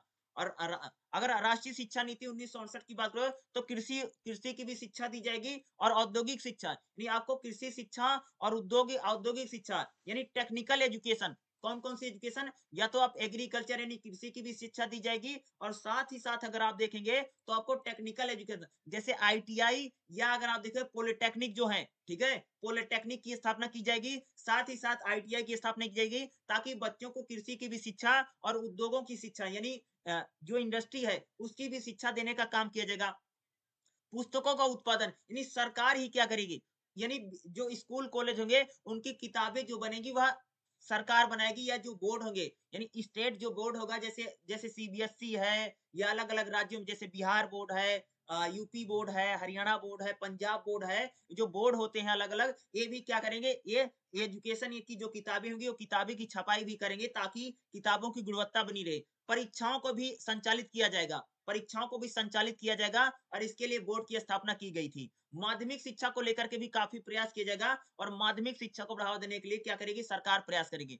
विश्वविद्यालय शिक्षा को लेकर के बोला गया था, उन्नीस सौ अड़सठ में बोला गया था कि जो विश्वविद्यालय शिक्षा आयोग है, वह विश्वविद्यालय का पाठ्यक्रम क्या होगा? खास तौर से ग्रेजुएशन की जो शिक्षा होगी, उसको विश्वविद्यालय शिक्षा में जोड़ा जाएगा और जो हमारा विश्वविद्यालय शिक्षा आयोग है, वह ग्रेजुएशन लेवल या पोस्ट ग्रेजुएशन लेवल की जो शिक्षा, यानी जो से बीए और एमए की शिक्षा है, उसको बढ़ावा देने के लिए जो हमारा विश्वविद्यालय आयोग संगठन है, वो काम करेगा। ठीक है? अंशकालिक शिक्षा, यानी जो लोग, ऐसे लोग हैं, जो श्रमिक हैं, जो मजदूर हैं, जो भाई मेरे कभी पढ़ नहीं पाए हैं, जिनकी उम्र ज़्यादा हो गई है, उनको हम आंशिक, अंशकालिक शिक्षा देने का प्रयास करेंगे, जिसको हम बोलते हैं प्रौढ़ शिक्षा। जैसे मान लो कोई पचास साल का हो गया, कोई पैंतालीस साल का हो गया, कोई चालीस साल का हो गया तो उसको भी थोड़ी बहुत शिक्षा देने का काम किया जाएगा। साक्षरता और वैक्स शिक्षा यानी साक्षरता बढ़ाने के भी सरकार क्या करेगी? प्रयास करेगी। दूसरा स्कूल और कॉलेजों में खेल कूद के लिए भी शारीरिक शिक्षा को बल दिया जाएगा नहीं जिसको हम फ़िज़िकल एजुकेशन बोलते हैं, शारीरिक शिक्षा पर भी क्या बोला गया है? बढ़ावा देने का क्या करेगी?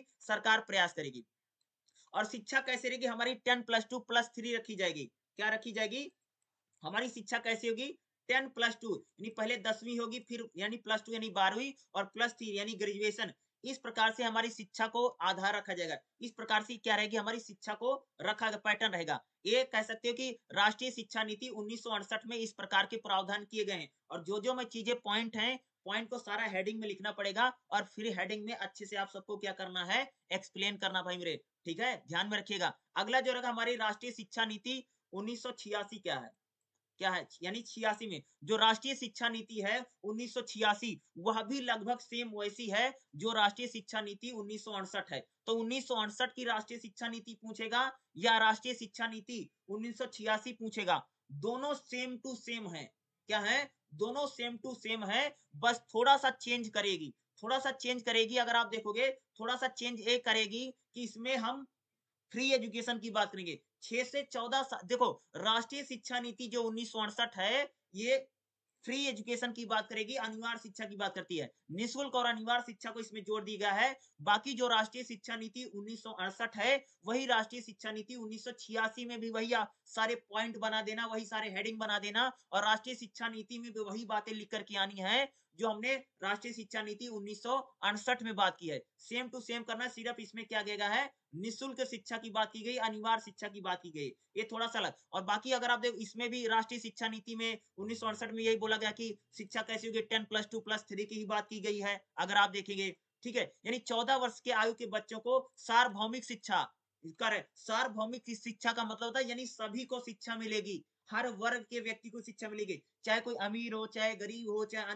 यानी चाहे अमीर हो, चाहे गरीब हो, चाहे किसी जाति का व्यक्ति है, किसी वर्ग का व्यक्ति है, किसी महिला है, पुरुष है, यानी सबको शिक्षा प्रदान की जाएगी। यानी अगर आप देखेंगे तो राष्ट्रीय शिक्षा नीति जो उन्नीस सौ अड़सठ है, ठीक है, उन्नीस ठीक है, सॉरी, छियासी है, राष्ट्रीय शिक्षा नीति जो उन्नीस सौ छियासी है, इसमें सार्वभौमिक शिक्षा को लेकर के बात की गई है और तकनीकी शिक्षा की बात की गई है। और इसमें प्राथमिक शिक्षा में ब्लैक बोर्ड के लेकर के काफ़ी बात की गई थी, जो पढ़ाई वो सारी ब्लैक बोर्ड पर होगी। जैसे होता है ना टीचर में देखोगा भाई पुरानी जो हमारी शिक्षा नीति, कैसी नीति है? ब्लैक बोर्ड पर नीति है, ठीक है? टेक्निकल एजुकेशन नहीं रखी गई। ब्लैक बोर्ड पर जाएगा टीचर लिखेगा, पढ़ाएगा ये जिसे वो बोलते हैं ब्लैक बोर्ड ऑपरेशन नीति। इस पर टीचर जो होंगे, सारे जो टीचर होंगे, वह बच्चों को ब्लैक बोर्ड पर ही पढ़ाएँगे। ठीक है? बुक लेकर के आपको ब्लैक बोर्ड पर लिख करके पढ़ाना पड़ेगा। ये राष्ट्रीय शिक्षा नीति उन्नीस सौ छियासी में इस बात को बोला। साथ ही अनुसूचित जाति के जो लोग हैं और अनुसूचित जनजाति के जो लोग हैं, जो पिछड़े वर्ग के लोग हैं, इनको शिक्षा में इनको वजीफे मिलेंगे, यानी इनका नामांकन भी किया जाएगा।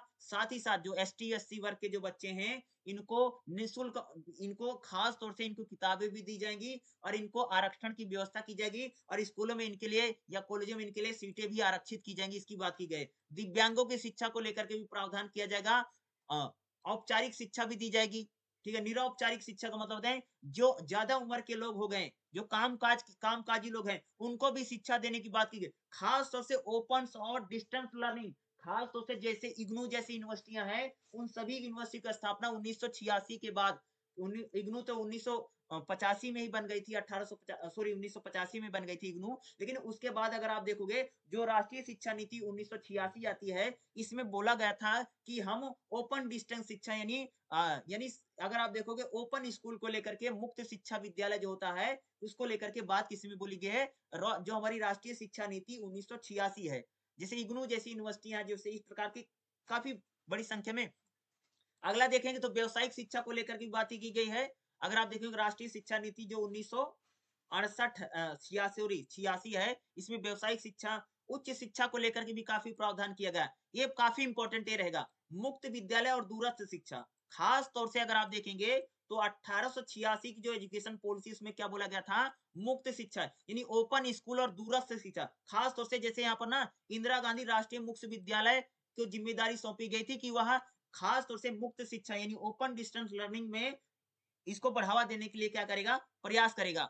नौकरियों से डिग्री से अलग करना। इन नौकरियों को, नौकरियों और डिग्रियों को क्या बिल्कुल अलग कर दिया गया है? शिक्षा को बढ़ावा देने का क्या किया गया? प्रयास किया गया था। तो राष्ट्रीय शिक्षा नीति अगर आप देखेंगे, जो उन्नीस यानी अड़सठ है और उन्नीस सौ छियासी है थोड़ा सा अंतर है थोड़ा सा डिफरेंस है दोनों में। दोनों में से अगर कह सकता हूँ, एक आपके एग्ज़ाम में पूछी ज़रूर जा सकती है और आज ज़रूर आ सकता है। कोई भी आएगी, आराम से इसको लिख दीजिएगा पॉइंट बना करके हेडिंग बना करके आपको लिखना है। और जो हमारी अगर अगला देखेंगे, जो हमारी नेक्स्ट है, राष्ट्रीय शिक्षा नीति 2020 क्या है? राष्ट्रीय शिक्षा नीति 2020 ये काफ़ी इंपॉर्टेंट भाई, ये पूछा जा सकता है, राष्ट्रीय शिक्षा नीति। और मुझे लगता है कि प्रीवियस एग्ज़ाम में, यानी एग्ज़ाम जब हुए उसमें क्वेश्चन ज़रूर आएगा। ये क्वेश्चन आया ही होगा। इस, देखो, अगर हम राष्ट्रीय शिक्षा नीति 2020 की बात करें तो इसमें क्या बोला गया है? इसमें बोला गया है तो अगर आप देखोगे, एक विद्यालय शिक्षा को बात की गई है। ठीक है? इसमें अगर आप देखोगे, खास तौर से विश्वविद्यालय, महाविद्यालय, और इसमें उच्च शिक्षा को भी बात की गई है, और शिक्षा की गुणवत्ता को सबसे ज़्यादा बल दिया राष्ट्रीय शिक्षा नीति किस पर ध्यान देती है? शिक्षा की गुणवत्ता पर सबसे ज़्यादा बल देती है, ठीक है? टेक्निकल एजुकेशन पर यह व्यावसायिक शिक्षा पर भी सबसे ज़्यादा बल दिया गया है। अगर हम राष्ट्रीय शिक्षा नीति, यानी 2020 की बात करें तो इसमें क्या बोला गया है? कि पूर्व विद्यालय, यानी कक्षा बारह तक विद्यालय के सभी स्तरों पर पहुँच सुनिश्चित हो। यानी बारहवीं तक सभी को कम से कम पढ़ाना है, यह राष्ट्रीय शिक्षा नीति 2020 कहती है। दूसरा क्या कहती है? तीन से लेकर के छह वर्ष के बीच आयु के सभी बच्चों को बचपन की देखभाल और शिक्षा की गुणवत्ता सुनिश्चित है। यानी तीन से लेकर के छह साल के जो बच्चे हैं, इनके लिए बचपन की जो, इनकी जो देखभाल है, चाइल्ड एजुकेशन जिसको बोलते हैं, और खास तौर से शिक्षा की गुणवत्ता इनकी सुनिश्चित की जाएगी। और भारत में पहले जो हम देखते ना, ten plus two plus three जो था, अब क्या कर दिया गया है? Five plus three plus three और प्लस फोर कर दिया गया है। क्या है? यानी पहले, सबसे पहले क्या, पांचवी तक पढ़ाया जाएगा, फिर पाँच से आठ अलग रहेगा और फिर आपका, देखोगे, थ्री अलग रहेगा। तो इस प्रकार से किया गया, अगर आप देखेंगे। इसमें बड़ा बदलाव किया गया है, ठीक है? अगर आप देखेंगे, संस्थापक यानी साक्षरता यानी साक्षरता बढ़ाने के लिए राष्ट्रीय मिशन की स्थापना की गई है। ठीक है? अगर आप देखेंगे इसमें मातृभाषा में ही शिक्षा दी जाएगी। जो राष्ट्रीय शिक्षा नीति 2020 है, इसमें जो शिक्षा होगी वो हमारी मातृभाषा में, स्थानीय भाषा में या क्षेत्रीय भाषा में ही दी जाएगी।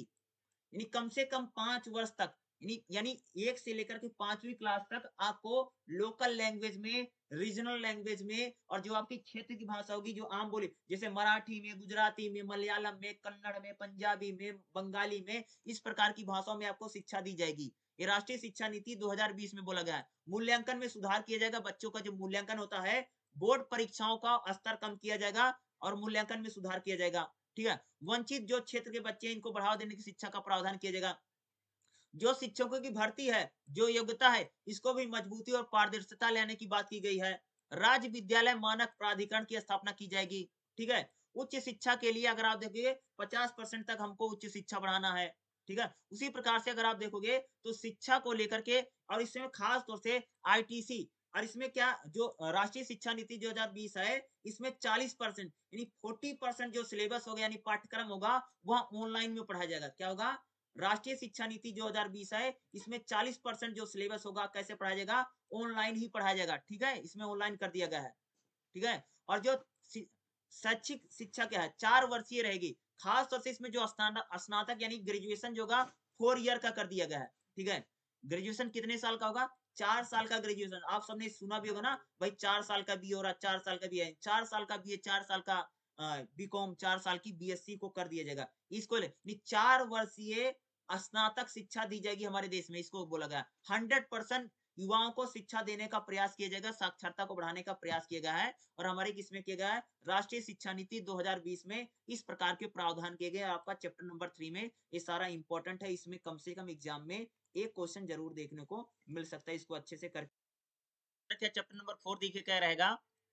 शिक्षा में उभरते मुद्दे और चिंताएँ क्या क्या हैं? शिक्षा में सब, अगर देखोगे, सभी के लिए शिक्षा सुनिश्चित करने संबंधी मुद्दे शिक्षा में कौन कौन से मुद्दे हैं? जैसे अवधारणा को लेकर के बड़ा मुद्दा है। जैसे आप देखते हो ना, भाई, शिक्षा को लेकर के सबसे बड़ी अवधारणा ये होती है कि भाई जो अमीर वर्ग के लोग हैं, शिक्षा प्राप्त कर ले रहे हैं, गरीब वर्ग का जो व्यक्ति है, वो शिक्षा को नहीं प्राप्त कर रहा। दूसरा, शिक्षा की जो सबसे बड़ी शिक्षा है, गुणवत्ता है, गुणवत्ता। अगर आप देखोगे, जैसे सरकारी स्कूल में देखोगे, सबसे बड़ी समस्या रहती है सरकारी स्कूल जो टीचर है वह पढ़ा नहीं रहे शिक्षा की गुणवत्ता को लेकर के सबसे ज़्यादा समस्या आजकल बनी हुई खास तौर से जो गवर्नमेंट स्कूल हैं, उनमें शिक्षा को लेकर के बड़ा है। फिर भी अगर आप देखें, सरकार तरह करके प्रयास कर रही है और शिक्षा की गुणवत्ता को लेकर के सरकार तमाम तरह के प्रयास कर रही है ताकि शिक्षा शिक्षा की गुणवत्ता को बढ़ाया जा सके। दूसरा, शिक्षा प्राप्त करने में समर्थ। देखो, आप देखोगे, हमारे देश में काफ़ी गरीबी है, अगर आप देखोगे, हर व्यक्ति को शिक्षा नहीं मिल पा रही। उसी आधार पर कह सकते हमारे देश में सबको शिक्षा मिले। इसके लिए भी अगर आप देखें, सरकार जो हमारी गवर्नमेंट है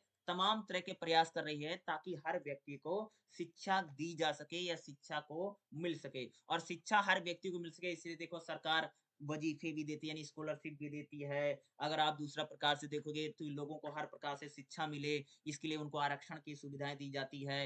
वो उनको भोजन में मिड डे मील भी दिया जाता है, खाना भी दिया जाता है, उनको पैसे भी दिए जाते हैं, उनको किताबें भी दी जाती हैं, ताकि हर व्यक्ति को शिक्षा मिल सके। ठीक है? अगला मुद्दा क्या? शिक्षा का निजीकरण बहुत ज़्यादा अगर आप देखोगे, आज देखो प्राइवेट स्कूल कितने खुल गए हैं, या शिक्षा का सबसे बड़ा मुद्दा है। क्या है? कि अगर आप देखोगे, आज शिक्षा ज़्यादातर प्राइवेट होती चली जाए देखते ना, कितने स्कूल, कॉलेज बहुत सारे प्राइवेट खुलते चले जा रहे हैं यह भी शिक्षा की बहुत बड़ी चिंता है, या मुद्दा है कि भाई धीरे धीरे अगर आप देखो प्राइवेट खूब चलते, अब देखो सरकारी स्कूल कितने कम है प्राइवेट स्कूल कितने ज़्यादा। और प्राइवेट स्कूलों में देखो कितने लगातार बढ़ते चल रहे हैं। वो इसी प्रकार से जो कॉलेज की बात करें, चाहे अगर आप कॉलेज भी देखो, कॉलेज भी दुनिया भर के प्राइवेट कॉलेज खुल गए हैं। बड़ी संख्या में यानी आज शिक्षा की जो सबसे बड़ी समस्या ही बनी है कि निजीकरण होता जा रहा। निजीकरण का मतलब यानी प्राइवेट होता चला जा रहा। आज शिक्षा पूरी तरह से प्राइवेट होती चली जा रही है और हर व्यक्ति के लिए शिक्षा जो है मुश्किल होती चली जा रही है। भाई प्राइवेट शिक्षा कौन अफोर्ड कर सकता है? जिसके पास पैसा हो तो कर सकता है। दूसरा, शिक्षा की जो सबसे बड़ा मुद्दा है या चिंता क्या है? पर्याप्त धन की कमी। आज देखोगे हमारे देश के लोगों के पास क्या है? धन नहीं है। पैसा नहीं पर्याप्त पैसा नहीं कि वो शिक्षा को प्राप्त कर सके। दूसरा अगर आप देखो हमारे देश में जो शिक्षा है वह बहुत महँगी होती चली जाए। आप सबको पता ना कि भाई जो शिक्षा है बहुत महँगी होती चली जा रही है। इतना लोगों के पास पैसा नहीं नहीं है कि वो अपने बच्चों को पढ़ा सके। बोला? इतना ही लो, इतना लोगों के पास पैसा ही नहीं है कि वो अपने बच्चों को पढ़ा सकें या उनकी पढ़ाई को कंप्लीट करवा सकें। ये बहुत बड़ी समस्या है। दूसरा पर्याप्त धन की कमी को लेकर के बात करेंगे। देखो पर्याप्त धन ये बताता है कि ना तो लोगों के पास पैसा है कि उनके पास उनको पढ़ा सके बच्चों को। और दूसरा अगर आप देखेंगे तो शिक्षा महँगी होती जा रही है। ये भी बड़ी समस्या है। शिक्षा का महँगा हो जाना। लोगों के पास पैसा भी नहीं है और हमारे देश में जो एजुकेशन है, वह साल दर साल अगर आप देखोगे, उसमें जो फ़ीस है, अगर आप लोग भी देखोगे तो आपकी फ़ीस भी हर साल बढ़ती जा रही है। दो सौ, चार सौ, दो सौ, चार सौ क्या होती है? बढ़ती उसी प्रकार से जैसे ट्यूशन की फ़ीस है कोचिंग जो संस्थान है, इसको तो कितने सारे कोचिंग संस्थान खुलते चले जा रहे इसमें फ़ीस कितनी ज़्यादा हो रही दूसरा देखो, शिक्षक छात्र अनुपात जो देखोगे, भाई छात्र तो बहुत ज़्यादा बढ़ते चले जा रहे हैं, लेकिन जो शिक्षक हैं, उनका जो परसेंटेज है कम है। कहीं कहीं पर देखोगे तो छात्र कम है, सरकारी स्कूल में जाओ, अगर सरकारी स्कूल में जाओगे तो वहाँ पर स्टूडेंट ही नहीं है। यानी कई बार तो ऐसा हो जाता किसी किसी सरकारी स्कूल में टीचर ज़्यादा हो गए, बच्चे उतने ही नहीं। तो शिक्षक छात्र अनुपात भी अगर आप देखोगे तो हमारे देश में एक बड़ी समस्या बनी हुई खासतौर से शिक्षा में कौन कौन से मुद्दे हैं और कौन कौन सी चिंता है तो भाई शिक्षा में सबसे बड़ा मुद्दा है कि शिक्षा प्राइवेट हो चली जा रही है। शिक्षा का निजीकरण किया जा रहा है, एजुकेशन का। दूसरा, हर व्यक्ति को शिक्षा नहीं मिल पा रही है। ठीक है, हर व्यक्ति तक शिक्षा की पहुँच ही नहीं है। दूसरा कैसे, शिक्षा की गुणवत्ता को लेकर के। शिक्षा यानी एक गुणवत्तापूर्ण शिक्षा, एक क्योंकि सरकारी स्कूल में जैसे पढ़ाई होनी चाहिए, वैसे मिल नहीं पा रही है। शिक्षा की गुणवत्ता में कमी है। दूसरा, अगर आप देखो, शिक्षा में धन की कमी है। लोगों के पास इतना पैसा ही नहीं है कि वह अपने बच्चों को पढ़ा सके। क्या बोला? लोगों के पास इतना पैसा नहीं, इतना धन ही नहीं है कि वो अपने बच्चों को पढ़ा सके। दूसरा, अगर आप देखोगे, शिक्षा का महँगा हो जाना, क्या है? शिक्षा में ज़्यादा यानी शिक्षा का महँगा हो जाना क्या है? अगर आप देख भाई, एजुकेशन कितनी सारी महँगी होती चली, कितनी हर साल दर साल, अगर आप इग्नू को ही देखोगे तो इग्नू में हर साल, यानी हर छह महीने जब एडमिशन शुरू होता है तो देखो, यानी दो सौ, चार सौ रुपए बढ़ ही जाते हैं।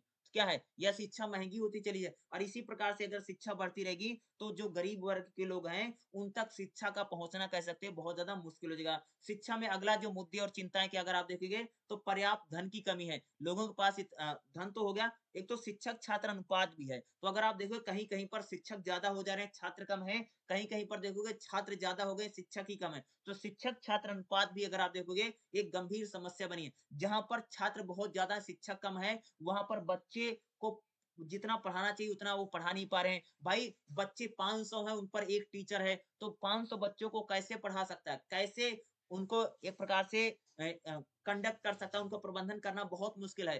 500 बच्चों को एक टीचर पढ़ाना उसके लिए क्या है? बहुत ज़्यादा मुश्किल है, ठीक है? इसलिए शिक्षक और कहीं कहीं सरकारी स्कूल में देखोगे तो भाई छात्र दो चार हैं और टीचर दस पंद्रह हो गए हैं। तो यह भी एक बड़ी समस्या है सरकारी स्कूलों में आपने देखा होगा कि वहाँ पर टीचर ज़्यादा बढ़ते चले जा रहे हैं और जो छात्र हैं उनकी संख्या हमें कम देखने मिलती है। तो वह भी यह कह सकते हैं, शिक्षा में एक बहुत बड़ी चिंता और क्या है? मुद्दे बने। तो शिक्षा के लिए क्या क्या मुद्दे हैं? क्या क्या चुनौतियाँ हैं? ये आपसे क्वेश्चन ज़रूर आ सकता है। शिक्षा में चुनौतियाँ और मुद्दे। मुद्दे जब शिक्षा के मुद्दे आएँगे और शिक्षा में कौन कौन सी चुनौतियाँ? मुद्दे ही ज़्यादातर आएँगे। मुद्दे ज़रूर पूछे गए या चिंताएँ? तो शिक्षा को लेकर के यही चिंताएँ भी है, मुद्दे भी हैं। और चिंताओं और मुद्दों को लेकर के अगर आपसे कोई क्वेश्चन पूछेगा तो इन्हीं की आपको क्या करना है? हेडिंग बना देना है और हेडिंग बना बनाकर क्या करना है? इन्हीं को आपको क्या करना है? एक्सप्लेन कर देना है। क्योंकि ये क्वेश्चन हो जाएँगे ज़्यादातर 20 नंबर में पूछा जाएगा और 20 नंबर के लिए आपको कम से कम चार पेज तो लिखना होगा। और चार पेज लिखने के लिए क्या करोगे? इन सभी को हेडिंग बनाइए और हेडिंग डाल डाल करके क्या करना, आपको एक्सप्लेन कर देना। ये तो थोड़ा आसान था इजी था, ये तो आप सभी को वैसे ही समझ में आ गया। और आपका ये जो चैप्टर नंबर फोर है तो चैप्टर नंबर फोर के बाद हम लोग देख लेते हैं अगला जो हमारा चैप्टर रहने वाला है, ठीक है? क्या है? चैप्टर नंबर फाइव क्या देखिएगा। भारत में विद्यालय शिक्षा का एक अवलोकन देखो, ये बात करता है कि भारत में विद्यालय शिक्षा किस प्रकार से रखी गई। जैसे अगर आप देखो, भारत में जो विद्यालय शिक्षा सबसे पहले क्या है भाई मेरे? अगर आप देखोगे प्राइमरी एजुकेशन है, ठीक है, जिसको हम लोग बोलते हैं प्राथमिक शिक्षा। पहले क्या है? प्राथमिक शिक्षा, जो क्या चलती है, एक से पाँच तक चलती है। विद्यालय विद्यालय एजुकेशन है। दूसरा, अगर आप देखोगे तो उच्च पूर्व माध्यमिक है। क्या बोला जाता है? माध्यमिक या मान लीजिए, माध्यमिक ही कह लीजिए, या माध्यमिक। दूसरा क्या होती है छ से आठ तक चलती है, ठीक है? इसको पूर्व माध्यमिक बोला जाता है, अगले को हम बोलते हैं माध्यमिक, ठीक है? माध्यमिक जो होती है, यह चलती है, नौ से दस चलती है। उच्च माध्यमिक होती है, उसको, वो कब से चलती है? ग्यारह से बारह। या क्या हमारी पूरी स्कूल एजुकेशन है, ठीक है? एक से पाँच तक की जो क्लासे होती है, इसको प्राइमरी क्लास बोलते हैं या सुना होगा ना प्राइमरी? तो इसमें क्या होता है, एक से पाँच तक की क्लास को हम प्राथमिक शिक्षा बोलते हैं, जिसमें क्लास एक से लेकर के क्लास पाँच तक के बच्चों को पढ़ाया जाता है। ठीक है, इसमें बात की गई है, शिक्षा की स्थापना ऐसे की गई। दूसरा अगर आप देखोगे, हमारी दूसरी क्या होता है पूर्व माध्यमिक होता है। पूर्व माध्यमिक देखोगे तो इसमें क्लास आठ से लेकर के, यानी क्लास छह से आठ तक के बच्चे आते हैं।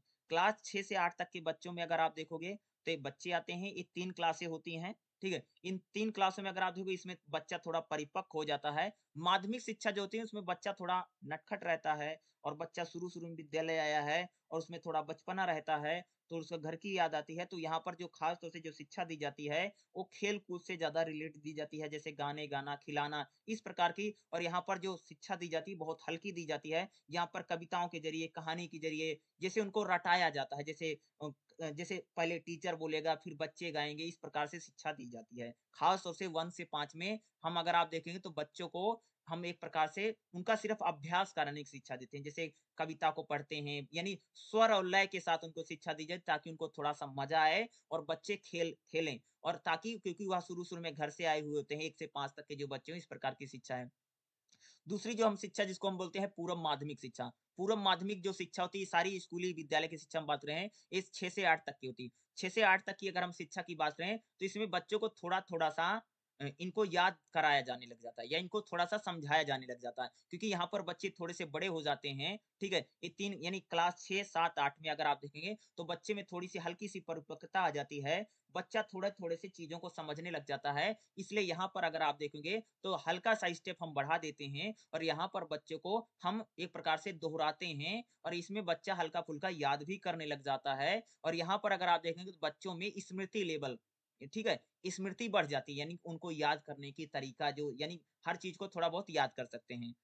तीसरा जो लेवल होता है उसको हम बोलते हैं माध्यमिक बोलते हैं, यानी जिसमें आठ और नौ क्लास आती है। इसमें बच्चा पूरी तरीके से हल्का परिपक्व हो जाता है, जिसमें अगर आप बच्चे करेंगे, बच्चे की स्मृति बिल्कुल बढ़ जाती है। यहाँ पर बच्चा कठिन कर से कठिन चीज़ों को भी याद कर सकता है, उसकी याददाश्त का लेवल बढ़ जाता है। यहाँ पर हम बच्चों को एक प्रकार से क्वेश्चन जो होते हैं, उनको याद करवाना, दोहराना, क्योंकि यहाँ बच्चे का जो मेमोरी लेवल होता है काफ़ी बेहतर हो जाता है और उसको याद कराया जाता है। यहाँ पर जो टीचर होता है, वह बच्चों को बड़ी अच्छे से समझाता है और बच्चे भी टीचर की बात को अगर आप देखेंगे तो बड़ी अच्छे समझ लेते हैं। दूसरा, अगर आप देखेंगे जो उच्च शिक्षा होती है, जिसको हम उच्च माध्यमिक बोलते हैं, ग्यारहवीं, बारहवीं की क्लास आती है, यहाँ पर बच्चा जो चिंतन स्तर पर पहुँच जाता है। यहाँ पर बच्चे, जिसे यहाँ पर बच्चों को क्वेश्चन जो दिया था ना, जैसे व्याख्या कीजिए या अपने शब्दों में लिखे, इस प्रकार से बच्चों को क्वेश्चन दिए जाते हैं। क्योंकि यहाँ पर जो बच्चा होता है, वह चिंतन के स्तर पर पहुँच जाता है। चिंतन स्तर, यानी अब वह किसी चीज़ को सोच सकता है, समझ सकता है, क्या गलत है, क्या सही है, इस स्तर पर बच्चे जो होते हैं, वह उच्च माध्यमिक स्तर पर अगर आप देखेंगे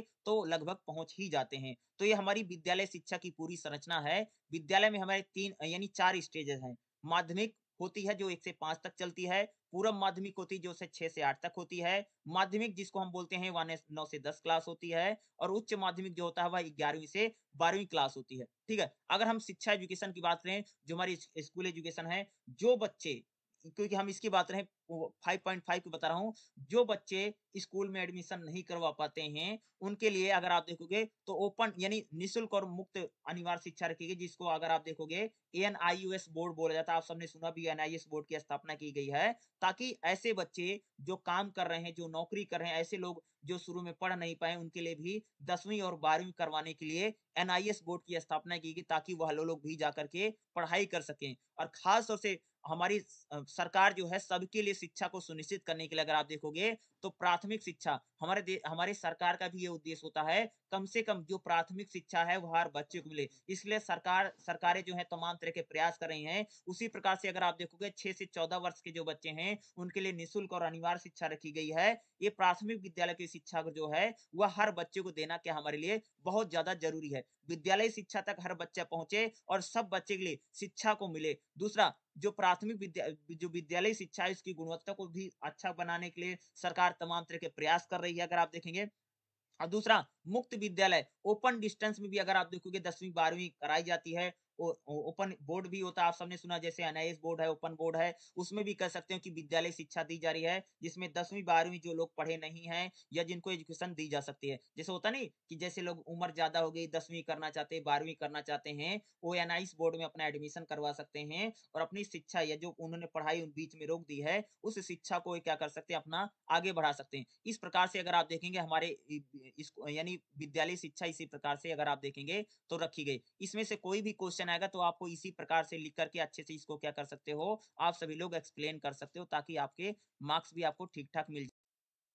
चैप्टर नंबर सिक्स क्या देखिएगा पूर्व माध्यमिक और प्रारंभिक शिक्षा क्या है? भाई पूर्व माध्यमिक क्या है? पूर्व माध्यमिक का मतलब होता है, स्कूल जाने से पहले जो स्कूल होता है, जिसको हम लोग बोलते हैं ना प्ले स्कूल ना, उसको बोला जाता है पूर्व माध्यमिक। जैसे बच्चा देखते हैं अब खा, बहुत सारे प्ले स्कूल खुल गए हैं इसको बोलते हैं पूर्व माध्यमिक। और पूर्व माध्यमिक एक प्रकार से कह सकते हो कि जो विद्यालय एनी वन टू फाइव को भी पूर्व माध्यमिक कह सकते हो, ठीक है? या प्रारंभिक शिक्षा उसको बोलते हैं जो प्ले स्कूल खुल गया है। देख नहीं प्ले स्कूल बहुत सारा खुल गया है। ठीक देखेगा पूर्व माध्यमिक शिक्षा को लेकर के क्या बात प्रारंभिक शिक्षा को लेकर के क्या बात की गई तो इसमें हम लोग बात करेंगे पूर्व माध्यमिक शिक्षा और प्रारंभिक शिक्षा, दो को ही हम लोग करके हम बात करेंगे, ठीक है? देखिए, भारत में पूर्व माध्यमिक शिक्षा क्या है? देखिएगा पूर्व माध्यमिक शिक्षा का मतलब होता है कि ज़ीरो से छह वर्ष के बच्चों के लिए जो शिक्षा होती है, इसको बोलते हैं पूर्व माध्यमिक शिक्षा। ठीक है?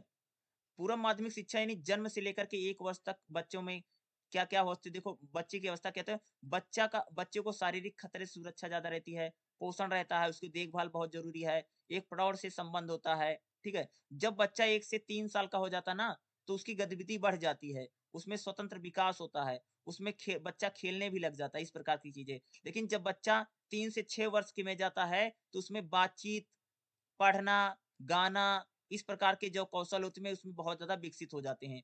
यही होती है हमारी पूर्व माध्यम यानी एक से तीन यानी तीन से जब छह वर्ष के बीच में बच्चा जाता है, तब उसमें पूर्व माध्यमिक शिक्षा के गुण आने लग जाते हैं, ठीक है? यानी क्या हो जाती है, पूर्व माध्यमिक शिक्षा के गुण आते हैं। ये बच्चे की मूल आवश्यकताएँ होती है, अगर आप देखो, पूर्व माध्यमिक शिक्षा की अगर हम लोग बात करें, देखिएगा, पूर्व माध्यमिक अगर मैं शिक्षा की बात करूँ तो इसको लेकर के अगर आप देखोगे तो पूर्व माध्यमिक शिक्षा की स्थिति क्या है? ठीक है? यहाँ पर अगर आप देखेंगे, देखिएगा, आ गया है पूर्व माध्यमिक शिक्षा, देखिएगा। इसमें भारत सरकार ने 1975 में अगर आप देखेंगे यानी भारत सरकार ने 1975 में एकीकृत बाल विकास योजना शुरू की, जिसमें महिला और बाल विकास मंत्रालय ने बोला था।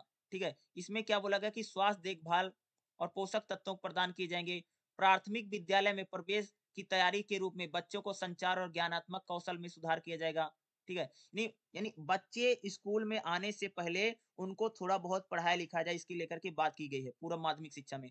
पूर्व माध्यमिक शिक्षा जिस प्रकार से जैसे आंगनबाड़ी केंद्रों को खोलना पूर्व माध्यमिक शिक्षा यही होती है, ठीक है?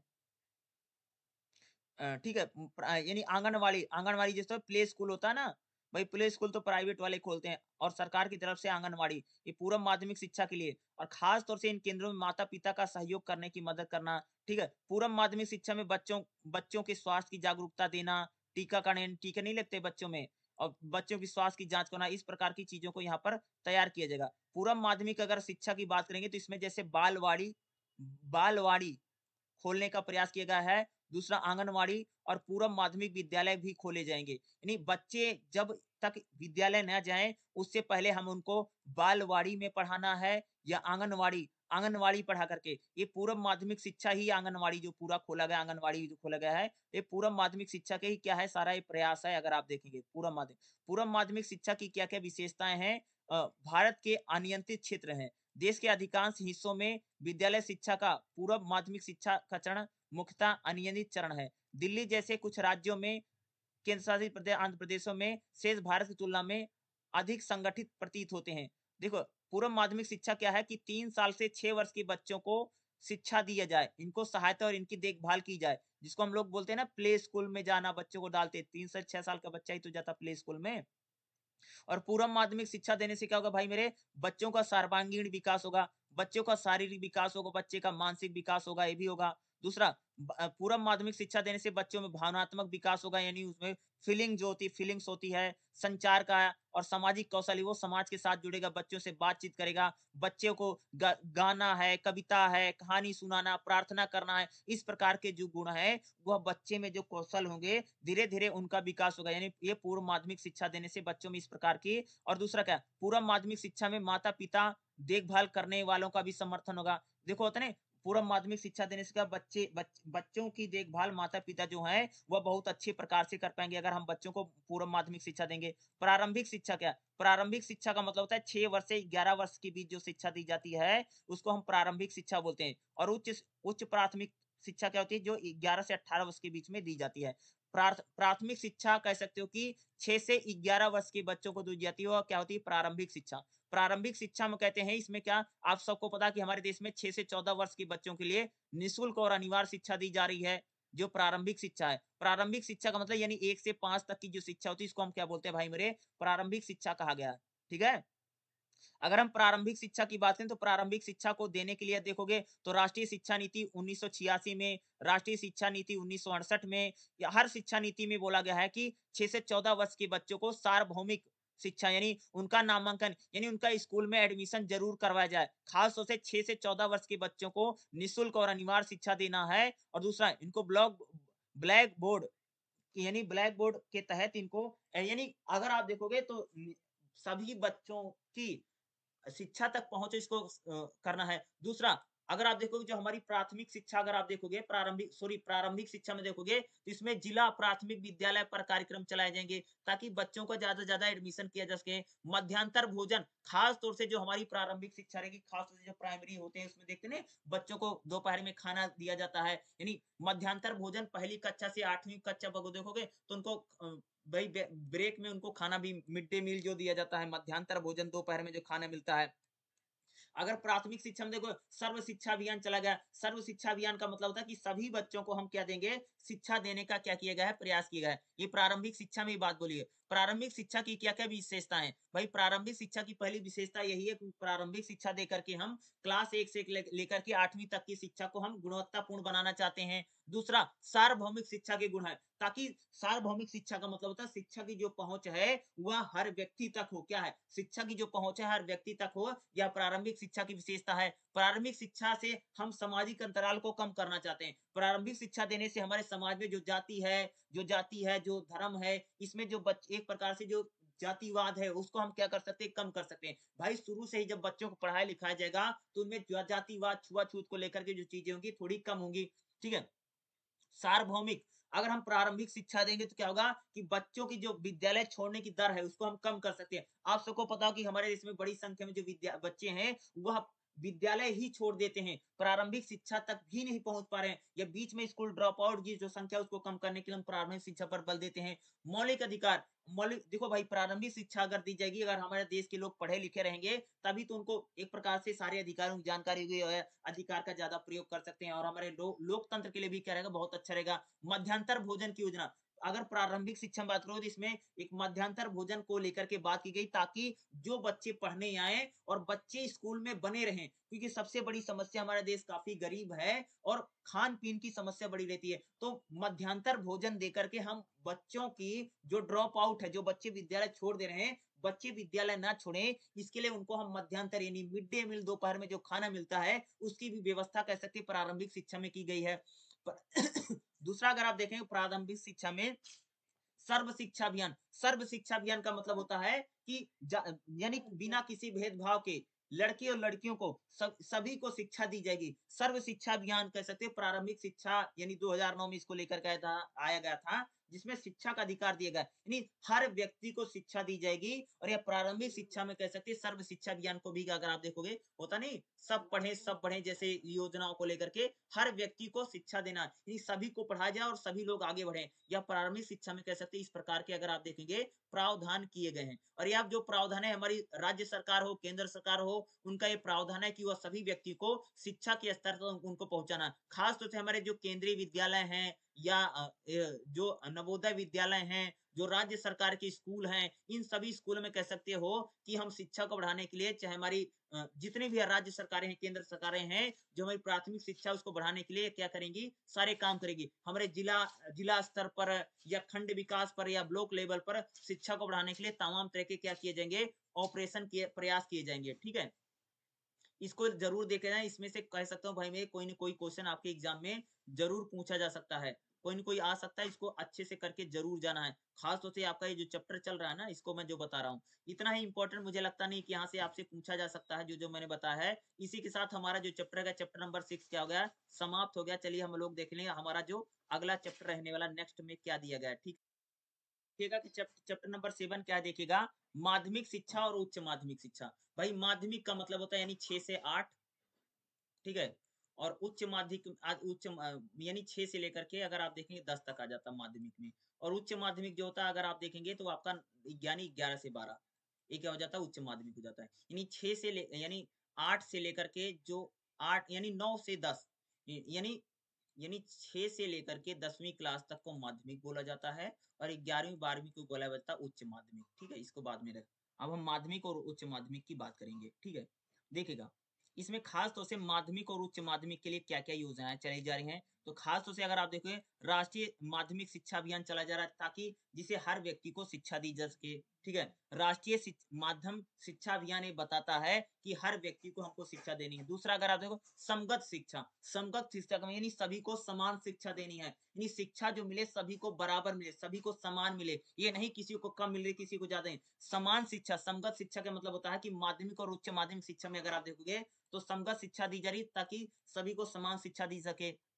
अगला अगर आप देखोगे माध्यमिक शिक्षा चरणों में दिव्यांगों के लिए समय यानी माध्यमिक शिक्षा में देखोगे, जो हमारे दिव्यांग है, जो विकलांग है, उनको भी समावेशी शिक्षा दी जाए। उनको भी हमें शिक्षा में क्या करना इंक्लूड करना। ये नहीं कि वो दिव्यांग है, विकलांग है हैंडीकैप है, उनको आप शिक्षा ही दे। उनको भी कह सकते हैं, उनके लिए भी यो सरकार योजना चलाई रही है। दूसरा, माध्यमिक शिक्षा में लड़कियों के लिए प्रोत्साहन किया जा रहा। है यानी लड़कियों, लड़कियाँ भी ज़्यादा से ज़्यादा शिक्षा को प्राप्त कर सके, उनको प्रोत्साहन देने के लिए अगर आप देखोगे तो सरकार की कई सारी योजना है ताकि उनको भी प्राप्त किया। और माध्यमिक शिक्षा में व्यवसायिक शिक्षा को लेकर के बात किया माध्यमिक जो शिक्षा अगर आप देखो, इसमें व्यवसायिक शिक्षा भी दी जाती है, जैसे कृषि की शिक्षा दी जाती है, वाणिज्य की शिक्षा दी जाती है, यानी माध्यमिक शिक्षा में व्यवसायिक शिक्षा का भी प्रावधान किया गया है। दूसरा, माध्यमिक शिक्षा में देखो, मदरसे की यानी कैसे सकते हर धर्म के लोग, हर जाति के लोग, हर वर्ग के लोगों को शिक्षा दी जाए इसमें मदरसे बोर्ड की भी स्थानीय मदरसों के ज़रिए कह सकते हैं, गुणवत्तापूर्ण शिक्षा देने की बात की जा रही है ताकि जो मुस्लिम समाज के लोग हैं, उनको भी शिक्षा। एकलव्य मॉडल आवासीय विद्यालय। यानी ऐसे भी, यानी स्कूलों की स्थापना की जाएगी की जाएगी, जो बच्चों के एक मॉडल स्तरीय विद्यालय होंगे। यानी उसमें एक ही मॉडल चलेगा इस आधार पे। ठीक है? अगर हम माध्यमिक शिक्षा की बात करें तो हमारी केंद्र सरकार ने दो प्रकार के विद्यालय स्थापित किए जैसे नवोदय विद्यालय नवोदय विद्यालय का मतलब होता है जिसमें सरकार जो हमारी गवर्नमेंट होगी वह एक एग्ज़ाम कंडक्ट करवाएगी जो बच्चे उसको पास करेंगे सरकार उसको कम पैसे में या उनको कम पैसे में क्या करेगी उस विद्यालय में शिक्षा देने का काम करती है। दूसरा अगर आप देखिए केंद्रीय विद्यालय यानी सर, भारत सरकार की तरफ़ से ऐसे कुछ विद्यालय खोले जाएँगे जो सेंटर स्कूल होंगे विद्यालय होंगे जिसमें बच्चों को शिक्षा देने का काम यानी केंद्र सरकार की तरफ़ से दो विद्यालय चलते हैं। एक तो नवोदय विद्यालय और दूसरा हमारा चलता है केंद्रीय विद्यालय। ये ये यानी माध्यमिक शिक्षा को लेकर के अगर आप देखेंगे जो केंद्र सरकार है ठीक है केंद्र सरकार की तरफ़ से दो प्रकार के स्कूल चलते हैं। एक तो होता भाई नवोदय विद्यालय, ठीक है? जो नवोदय विद्यालय में क्या होता है कि बच्चों का टेस्ट लिया जाता है, एक प्रकार से एंट्रेंस एग्ज़ाम टाइप का होता है और उसको पास करने के बाद उसमें एडमिशन होता है। दूसरा जो हमारे केंद्रीय विद्यालय होता है, केंद्रीय विद्यालय में बच्चों के एडमिशन करवाए जाते हैं। ये केंद्र सरकार के स्कूल होते हैं, उसको हम क्या वो लोग बोलते हैं? केंद्रीय विद्यालय। ठीक है? केंद्र सरकार इस प्रकार से माध्यमिक शिक्षा को बढ़ावा देने के लिए क्या कर रही है? प्रयास कर रही है। तो माध्यमिक शिक्षा के लिए कह सकते हो कि माध्यमिक शिक्षा, उच्च माध्यमिक शिक्षा कर लिए ये सारे प्रयास किए जा रहे हैं, ठीक है? नवोदय विद्यालय में क्या होता है? नवोदय विद्यालय जो होते हैं, अगर ये नवोदय विद्यालय अगर आप देखेंगे तो पाँच से लेकर के यानी क्लास छह से लेकर के शुरू होते हैं। नवोदय विद्यालय क्लास छह से लेकर के अगर आप देखेंगे, बारहवीं तक चलते हैं और जो केंद्रीय विद्यालय होता, केंद्रीय विद्यालय अगर आप देखो, ये क्लास एक से लेकर के बारहवीं तक चलता है, ठीक है? ज़्यादातर अगर आप देखो, ऐसे ही रहता है। नवोदय विद्यालय, केंद्रीय विद्यालय क्या है? एक केंद्र सरकार की तरफ़ से माध्यमिक शिक्षा को या उच्च माध्यमिक शिक्षा को बढ़ावा देने के लिए हमारी सरकार लेकर के आई है। और आपका जो चैप्टर नंबर सेवन है, इसमें खास तौर से माध्यमिक या उच्च माध्यमिक में लेकर के कौन कौन सी सरकार की योजना चले? योजना को लेकर के अगर आपसे पूछेगा तो आपको क्या बताना है? यही चीज़ें बतानी जो मैं आपको बता रहा हूँ, ठीक है? इसको लिख देना और इसी में से कम से कम आपका क्वेश्चन हो जाएगा, ठीक है? चैप्टर रहेगा क्या है? चैप्टर नंबर एट क्या है? व्यवसायिक और तकनीकी शिक्षा। खास तौर से जो व्यवसायिक और तकनीक, व्यवसायिक शिक्षा मतलब से एग्रीकल्चर यानी कृषि की जो शिक्षा होती है, कृषि को लेकर के जो शिक्षा दी जा रही है, खास दूसरा वाणिज्य, कॉमर्स की जो शिक्षा, जैसे होता नहीं ग्यारहवीं, बारहवीं तुम सब देखते हो, बच्चे क्या लेते हैं, सब्जेक्ट कॉमर्स ले लेते हैं। तो ये व्यापार व्यवसायिक शिक्षा में आता है, दूसरा जो कृषि की शिक्षा है, ठीक, एग्रीकल्चर की जो अगर शिक्षा दी जाती है, या व्यवसायिक तकनीकी शिक्षा क्या होती है, खास तौर से जैसे आईटीआई ठीक है, या पोलिटेक्निक, ठीक है या अगर आप देखो आगे चल करके जो खास ग्रेजुएशन में बीटेक है एमटेक है, ठीक है, एक कार्य दूसरा बीबीए एमबीए ये सारे व्यवसायिक शिक्षा और तकनीकी शिक्षा में आएँगे, ठीक है? ये क्या है? ये सारी व्यवसायिक शिक्षा और तकनीकी शिक्षा। व्यवसायिक शिक्षा का महत्व क्या है? भाई, जो हम तकनीकी शिक्षा दे रहे हैं, व्यवसायिक शिक्षा इसका महत्व है। खास तौर से अगर व्यवसायिक शिक्षा दी जाती है, खास जैसे कृषि में अगर, कृषि को लेकर के, एग्रीकल्चर को लेकर के अगर शिक्षा दी जाएगी तो खास तौर से जो कृषि के क्षेत्र हैं, इसमें उत्पादन बढ़ जाएगा। क्या बढ़ जाएगा उत्पादन को बढ़ाया जा सकता है। दूसरा, कृषि के क्षेत्र में कह सकते हैं जो बीज होंगे, जो उनको एक प्रकार से नई नई चीज़ें हैं। दूसरा, इसमें कृषि में सुधार किया जा सकता है। क्या? एग्रीकल्चर में जैसे सिंचाई है, कटाई है, बुआई में क्या किया जा सकता है? सुधार किया जा सकता है, इसका महत्व है। ठीक है? दूसरा, अगर भाई, अगर हमारा एग्रीकल्चर सेक्टर बढ़ेगा, इसके, इसको मदद मिलेगी दूसरा, व्यवसायिक शिक्षा से क्या लाभ होगा? अगर हम व्यवसायिक शिक्षा देंगे तो हमारे यहाँ पर जो इंडस्ट्री है, वो काफ़ी बेहतर होंगी। दूसरा, राष्ट्र निर्माण में व्यवसायिक शिक्षा का काफ़ी महत्व है। क्या है? राष्ट्र निर्माण में। क्योंकि हमारे देश से हमारे देश के लोगों में लोगों को क्या होगा? ज़्यादा से ज़्यादा रोज़गार मिलेगा। दूसरा, मानव संसाधन, यानी जो ह्यूमन रिसोर्स है, यानी खास तौर से अगर हम लोग व्यवसायिक शिक्षा देंगे या तकनीकी शिक्षा देंगे तो ह्यूमन रिसोर्स यानी मानव संसाधन जो है, उसका बड़े अच्छे तरीके से, या कह सकते बड़े बेहतर तरीके से क्या हो सकता है? प्रयोग किया जा सकता है, खास तौर से जो व्यवसायिक शिक्षा है, ठीक है? दूसरा, समाज में जो हाशिए वर्ग के लोग हैं, जैसे समाज में एस है, एसटी है, दलित है, पिछड़े हैं, आदिवासी हैं अगर इन लोगों को व्यवसायिक शिक्षा दी जाएगी या टेक्निकल या तकनीकी शिक्षा दी जाएगी तो इन लोगों का भी क्या होगा? विकास हो पाएगा। दूसरा, व्यवसायिक शिक्षा और तकनीकी शिक्षा देने से क्या होगा कि हमारी जो अर्थव्यवस्था है इकोनॉमी जो है, वह भी बढ़ेगी। साथ ही साथ व्यवसायिक शिक्षा देने से हमारे देश में व्यापार, जो ट्रेड है, इसमें भी क्या होगी? हमें बढ़ोतरी देखने को मिलेगी। यानी व्यवसायिक शिक्षा और तकनीकी शिक्षा देने से अगर आप देखेंगे तो जो हमारे विशिष्ट आवश्यकता वाले व्यक्ति हैं, उनको व्यवसायिक कर शिक्षा देंगे। तो किसी भाई, किसी खास चीज़ में अगर उनका अगर एजुकेशन रहेगी तो उनका जो व्यापार है या जो उनका व्यवसाय है, काफ़ी बेहतर तरीके से क्या हो सकता है? हो सकता है। अगर हम व्यवसायिक शिक्षा की बात करें तो हमारे देश में व्यवसायिक शिक्षा ग्यारहवीं, बारहवीं क्लास में ही देना स्टार्ट हो जाता है। जो होता नहीं जैसे कॉमर्स को लेकर के पढ़ाई होने लग जाती है कॉमर्स एक साइड ही बन जाती है। दूसरा अगर आप देखो जैसे यूनिवर्सिटी में देखो जैसे बीबीए है एमबीए है, इस प्रकार से व्यवसायिक शिक्षा दी जाती है। ठीक है, उसी प्रकार से तकनीकी शिक्षा में जैसे अगर आप देखोगे तो जैसे आईटीआई है पॉलिटेक्निक है एमटेक है बीटेक है, इस प्रकार से टेक्निकल एजुकेशन दी जा रही है। दूसरा, उसी प्रकार से अगर आप देखो आईटी सेक्टर तकनीकी शिक्षा में जो आईटी सेक्टर कंप्यूटर टेक्नोलॉजी की जो शिक्षा दी जा रही है, ये भी तकनीकी शिक्षा में ही आती है। इसमें आती है भाई मेरे? तकनीकी शिक्षा या टेक्निकल एजुकेशन में भी हम लोग इसी में बात करेंगे, ठीक है? इस प्रकार की भी शिक्षा अगर आप देखो दी जा रही है तो खास तौर से अगर आप देखें, आपके लिए जो इंपॉर्टेंट बनेगा, व्यवसायिक व्यवसायिक शिक्षा, यानी व्यवसायिक शिक्षा की भूमिका और महत्व क्या है? दूसरा, आप कह सकते हैं व्यवसायिक शिक्षा और प्रशिक्षण में वर्तमान भारत में स्थिति क्या अगर अगर वर्तमान की बात करें तो वर्तमान में अगर आप देखोगे तो जैसे व्यवसायिक शिक्षा में अगर आप देखोगे या technical education I T I polytechnic एक कॉलेज खोले गए हैं, दूसरा अगर आप देखोगे तो हमारे यहाँ पर तकनीकी शिक्षा को लेकर के, कृषि को लेकर के कई सारे इंस्टीट्यूट खोले गए हैं, व्यापार को लेकर के, जैसे अगर आप जैसे देखोगे एम या बीबीए को लेकर के अगर आप देखोगे तो कई सारे कॉलेज इंस्टीट्यूट खोले गए हैं, उसी प्रकार से अगर आप टेक्निकल एजुकेशन में बात करोगे, उसमें बात करोगे, दूसरा जो व्यवसायिक शिक्षा है, उसमें भी अगर आप देखोगे, दूरस्थ शिक्षा के माध्यम से, अगर आप देखोगे, व्यवसायिक शिक्षा जैसे open distance open distance learning है, इसके माध्यम से भी अगर आप देखो हमारे देश में व्यवसायिक शिक्षा दी जा रही है। व्यवसायिक शिक्षा का मतलब होता है जिससे जाकर के व्यक्ति कोई ना कोई व्यवसाय कर सके, कोई ना कोई रोज़गार कर सके या कोई अपना वह काम कर सके। उसी को हम लोग लोग क्या बोलते हैं? व्यवसायिक शिक्षा। व्यवसायिक शिक्षा देखो ना, होता नहीं बीबीए लोग करते हैं एमबीए कर रहे हैं, उसी प्रकार से बारहवीं, ग्यारहवीं, बारहवीं जब बच्चे जाते हैं तो कॉमर्स साइड लेते हैं ना। जैसे में देखो, होता नहीं, जैसे देखो उसमें फाइनेंस सिखाया जाता है, ठीक है? उसमें या सारी चीज़ें सिखाई जाती है, किस प्रकार से आप पूरा व्यापार करेंगे। उसमें अब जैसे मार्केट सिखाया जाता है शेयर मार्केट हो, मार्केटिंग हो, ये सारी चीज़ें सिखाई जाती हैं, या व्यापार किस प्रकार से किया जाएगा, ये सारी चीज़ें जो सिखाई जाती है। यानी स्कूल में लेकर के, दूसरा क्या है, इस शिक्षा से लाभ क्या होगा, इसकी भूमिका क्या है? एक दो क्वेश्चन खास तौर से व्यवसायिक शिक्षा वाला थोड़ा इंपॉर्टेंट हो सकता है, खास तौर से कह सकता हूँ, एक क्वेश्चन ज़रूर आ सकता है व्यवसायिक शिक्षा को लेकर के। ठीक है? इसमें तकनीकी शिक्षा भी इन्होंने जोड़ रखा लेकिन तकनीकी शिक्षा को लेकर इन्होंने खास तौर से कोई बहुत ज़्यादा क्वेश्चन नहीं लिखे आए पूछेगा लेकिन व्यवसायिक शिक्षा को लेकर के क्वेश्चन आ सकता है। व्यवसायिक शिक्षा को लेकर के, यानी 8.5 जो आपका है इंपॉर्टेंट है, और 8.6 जो, ये इंपॉर्टेंट हो सकता है। इसको लेकर के कह सकते हो कि एग्ज़ाम में क्वेश्चन आ सकता है और आपका जो चैप्टर नंबर एट रहेगा। बाकी के जो चैप्टर रहेंगे, चलिए हम लोग उसको कर लेते हैं। सारे चैप्टर बताऊँगा, जितने भी इंपॉर्टेंट है सिर्फ़ आपको क्या करना है, इसको ध्यान से सुनना है। जो जो इंपॉर्टेंट रहेगा, मैं सारे एक्सप्लेन कर दूँगा, ठीक है? चलिए अगला देख ले अगला जो हमारा चैप्टर है चैप्टर नंबर एट के बाद हमारा क्या है चैप्टर नंबर नाइन को देख लेते हैं। जो कि ये भी काफ़ी इंपॉर्टेंट चैप्टर नंबर नाइन क्या है?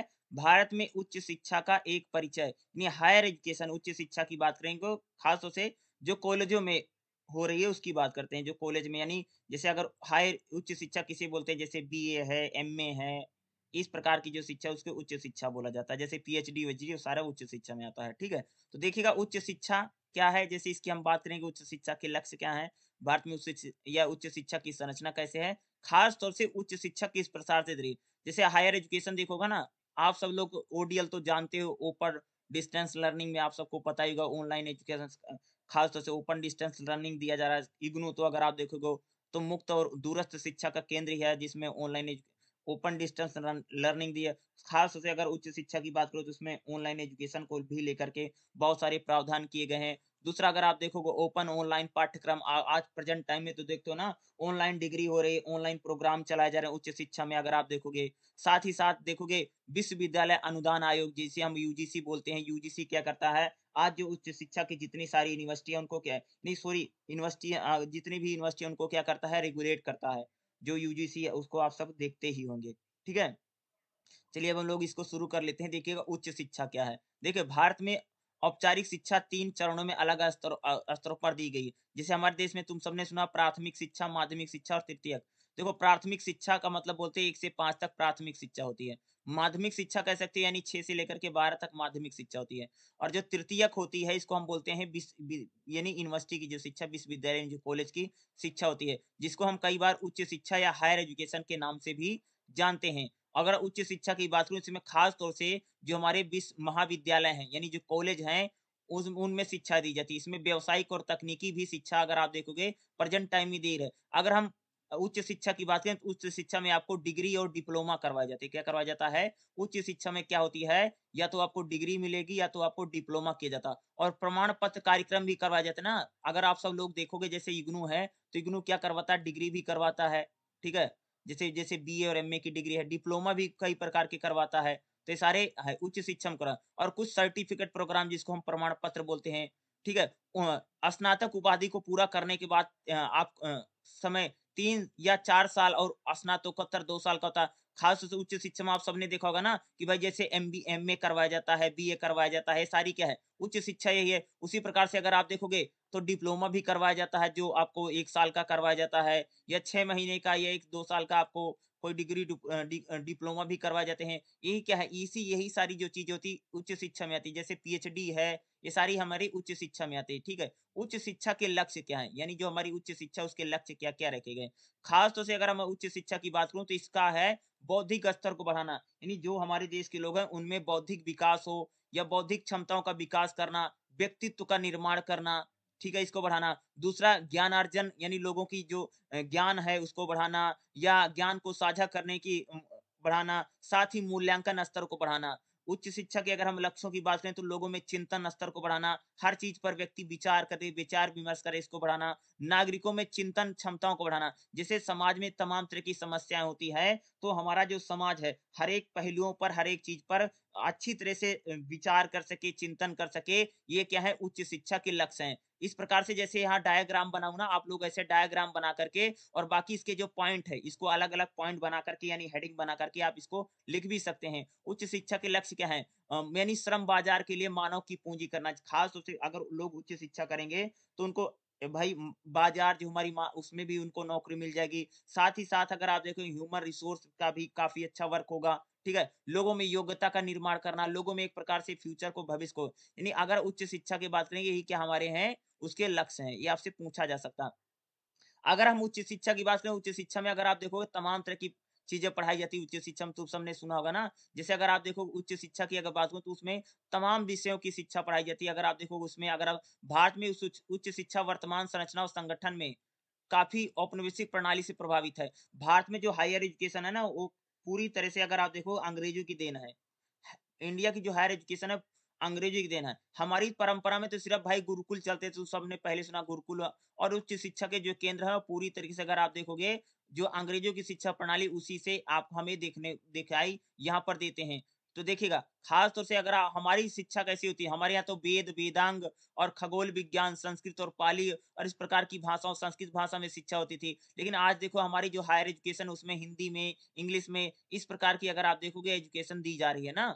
ऐसी तो शिक्षा है ना खासतौर से हमारी जो यूनिवर्सिटी है उसमें इसी प्रकार की शिक्षा दी जा रही ना? अब बात है भारत में उच्च शिक्षा की संरचना कैसे है? अगर हम भारत में उच्च शिक्षा की बात करें तो उसमें अगर आप देखो औपचारिक शिक्षा दी जाती है। औपचारिक शिक्षा यानी अगर आप देखोगे तो फुल एजुकेशन जिसको रेगुलर हम बोलते हैं ना, देखा होगा ना? जो बच्चे रेगुलर पढ़ने जाते हैं, कॉलेजों में जाते हैं, उनको हम औपचारिक शिक्षा बोलते हैं। गैर औपचारिक शिक्षा का मतलब क्या होता है कि जब हम शिक्षा को हम चार दीवारी से बाहर फ्री करके पढ़ाते हैं। जैसे अगर आप देखोगे, जैसे लोग घर बैठे रहते हैं, जो गृहणियाँ हैं, जो बच्चे नौकरी कर रहे हैं, उनके लिए देखो गैर औपचारिक शिक्षा हायर एजुकेशन में देते हैं। खास उसे इग्नू जैसी यूनिवर्सिटियाँ हैं ओपर डिस्टेंस लर्निंग में जिस प्रकार से शिक्षा अगर आप देखोगे, हमारे देश में दी जाती है। ठीक है, अनौपचारिक शिक्षा उसी में आता है। ठीक है?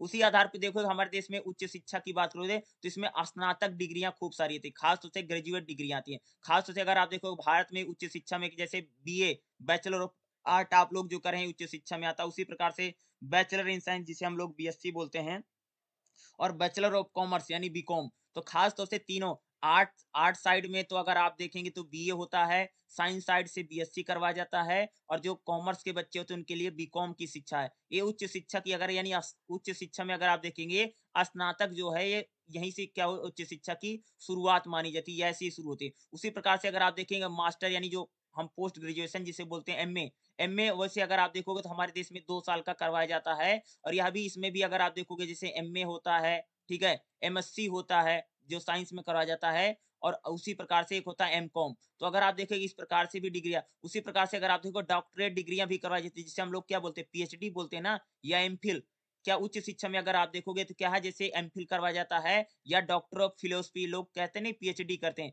यानी उच्च शिक्षा में तीन स्तर है। एक तो स्नातक होता है, दूसरा होता है मास्टर डिग्री, यानी जिसे हम एम में बोलते हैं, और तीसरा होता है प्री डॉक्टरेट या पीएचडी हम जिसको बोलते हैं, लोग क्या करते हैं पीएचडी उच्च शिक्षा में तीन ही स्तर हैं। तीन ही कह सकते तीन सीढ़ियाँ हैं, तीन इसमें हमें देखने को मिलता है। उच्च शिक्षा में यही आपको देखा। अगर हम लोग बात करें उच्च शिक्षा उच्च शिक्षा को चलाने के लिए कौन कौन से तो पहले जैसे शिक्षा मंत्रालय जो है, उच्च शिक्षा को ये पूरी तरह से क्या करता है? डायरेक्टरेट करता है। मानव संसाधन विकास मंत्रालय, जिसे आज खास से शिक्षा मंत्रालय के नाम से जाना जाता है ना पहले जो मानव विकास मंत्रालय था, इसी में शिक्षा आती थी। लेकिन अब इसी का नाम बदल कर क्या बनाते हैं? शिक्षा मंत्रालय कर दिया गया है। उसी प्रकार से उच्च शिक्षा विभाग की स्थापना की गई, जो हमारे देश में पूरी तरह जो हायर एजुकेशन है, उच्च शिक्षा को क्या करता है? संचालित करने का काम करता है, जो हमारे देश में उच्च शिक्षा होगी। जैसे यूजीसी बनाई गई है, भी उच्च शिक्षा को क्या करता है? डायरेक्ट डायरेक्ट उसी प्रकार से अखिल भारतीय तकनीकी, जो खास तौर से अगर आप टेक्निकल जो जितने इंस्टीट्यूट हैं, जैसे अगर आप देखोगे, जैसे कोई अगर आप देखोगे, जैसे खास तौर से जैसे बीटेक करता है एमटेक करता है, उसके लिए कौन कौन से इंस्टीट्यूट उसको उसको कंट्रोल कौन करता है? तो आई जो अखिल भारतीय तकनीकी शिक्षण संस्थान इसको करता है। उसी प्रकार से जो मेडिकल के सारे कोर्सेज उनको कौन करता है? Medical council of India higher education में खास तौर जैसे M B B S M D M D सारा इसमें करता है, ठीक है? भारतीय कृषि अनुसंधान परिषद ये भी उच्च शिक्षा को संचालित करता है। उसी प्रकार से राष्ट्रीय अध्यापक अध्यापक शिक्षा परिषद, यानी एनसीटीई यानी जो एनसीटी होता है, ये भी अगर आप देखोगे तो उच्च शिक्षा में इसका भी काम है। खास तौर से जो बीएड बीएड के कोर्स हैं एमएड होता है, जो टीचिंग कोर्स होते हैं, उसको कौन करवाता है, अगर आप देखेंगे तो राष्ट्रीय अध्यापक शिक्षा परिषद, जिसे हम लोग क्या बोलते हैं एनसीटी बोलते हैं। खास तौर से जैसे बीएड है एमएड है डीएलएड वीएलएड जो होता है, ये इसी में, के अंडर में आता है, राष्ट्रीय शिक्षा परिषद यानी एनसीटी के अंदर में आता है। उच्च शिक्षा में भी काम करता है। उसी प्रकार से जैसे दंत चिकित्सा परिषद है, ठीक है, जैसे नर्सिंग परिषद है ठीक है, फार्मेसी काउंसिल है, बार काउंसिल जिसमें खास तौर से जैसे आप देखोगे एलएलबी लोग करते हैं, एलएलएम करते हैं, उसको उसमें करता है जो बार काउंसिल, यानी जो कानून की पढ़ाई की जाती है, ये भी उच्च शिक्षा में अगर आप देखोगे होता नहीं, जिसे लोग एलएलबी करते हैं, एलएलएम करते हैं, ठीक है, इसको जो करवाई जाता है। ठीक है? इस प्रकार ये ये सारी जो संस्थाएँ क्या है उच्च शिक्षा में काम करी ना हायर एजुकेशन में अलग अलग फ़ील्ड में देखोगे तो उच्च शिक्षा की सारी क्या हमारी संस्थाएँ जो काम करती है उच्च शिक्षा के संस्थान कौन कौन से कितने प्रकार के अगर आप देखोगे केंद्रीय विश्वविद्यालय अगर हम देखो ना जिसे हम बोलते हैं सेंट्रल यूनिवर्सिटी तो इग्नू क्या है? इग्नू भी तो भाई सेंट्रल यूनिवर्सिटी है क्या है? इग्नू क्या है? इग्नू एक सेंट्रल यूनिवर्सिटी है ठीक है? तो अगर हमारे देश में देखो तो, तो 19 केंद्रीय विश्वविद्यालय हैं ठीक है? और केंद्रीय मुक्त विश्वविद्यालय कौन सा? सिर्फ़ एक है वो भी इग्नू है। पूरी, हम इंडिया में, अगर आप देखोगे जो सेंट्रल यूनिवर्सिटी है ओपन डिस्टेंस लर्निंग में, वो सिर्फ़ इग्नू ही है। वो सिर्फ़ एक ही यूनिवर्सिटी है। राष्ट्रीय महत्व के कितने संस्थान है हमारे देश में? देखो 101 है। राज्य सार्वजनिक विश्वविद्यालय कितने? तीन सौ इक्यावन है। ठीक है? राज्य विधिक संस्थान कितने? पाँच है। राज्य मुक्त विश्वविद्यालय कितने हैं? वो चौदह है। चौदह राज्यों में ओपन डिस्टेंस के राजकीय निजी विश्वविद्यालय कितने हैं? दो सौ बासठ है। जो खासतौर से राज्य निजी विश्वविद्यालय है। राज्य निजी मुक्त विद्यालय कितने हैं? सिर्फ़ एक है। ठीक है? इस प्रकार से अगर आप देखोगे, भारत में विश्वविद्यालय कितने प्रकार के उनकी संख्या कितनी यहाँ पर अगर आप देखोगे, पूरी टेबल, ये सारा हायर एजुकेशन को ही क्या करते हैं? कंट्रोल करते हैं। अगर आप देखो हायर, उसी प्रकार से अगर आप देखोगे तो उच्च शिक्षा में ओडीएल को लेकर के खूब पढ़ाई की जाए। आप सबको पता होगा, ओपन डिस्टेंस लर्निंग हम जिसको बोलते हैं, खासतौर से इग्नू जैसी यूनिवर्सिटी अगर आप देखोगे, जो दूरस्थ शिक्षा के ज़रिए क्या दे रही है हायर एजुकेशन लोगों को पढ़ा रहे हैं। खास तौर से ऐसे लोग जो स्कूल नहीं जा सकते कॉलेज नहीं सॉरी स्कूल नहीं कॉलेज नहीं जा सकते हैं या कोई नौकरी चाकरी कर रहे हैं या जो गृहिणियाँ हैं, ऐसी लड़कियाँ जो बाहर जाकर के पढ़ाई नहीं कर पा रही हैं, उनके लिए अगर आप देखोगे हायर एजुकेशन खास तौर से उच्च शिक्षा में ओडियल मुक्त और दूरस्थ शिक्षा के ज़रिए ताकि हर व्यक्ति को पढ़ाया जा सके या उस उस तक एजुकेशन संचालित की जाए। ये मुक्त मुक्त और दूरस्थ शिक्षा वही होती है जो खास तौर से इग्नू जैसी यूनिवर्सिटियाँ दे रही हैं, उसको हम लोग बोलते हैं, ठीक है?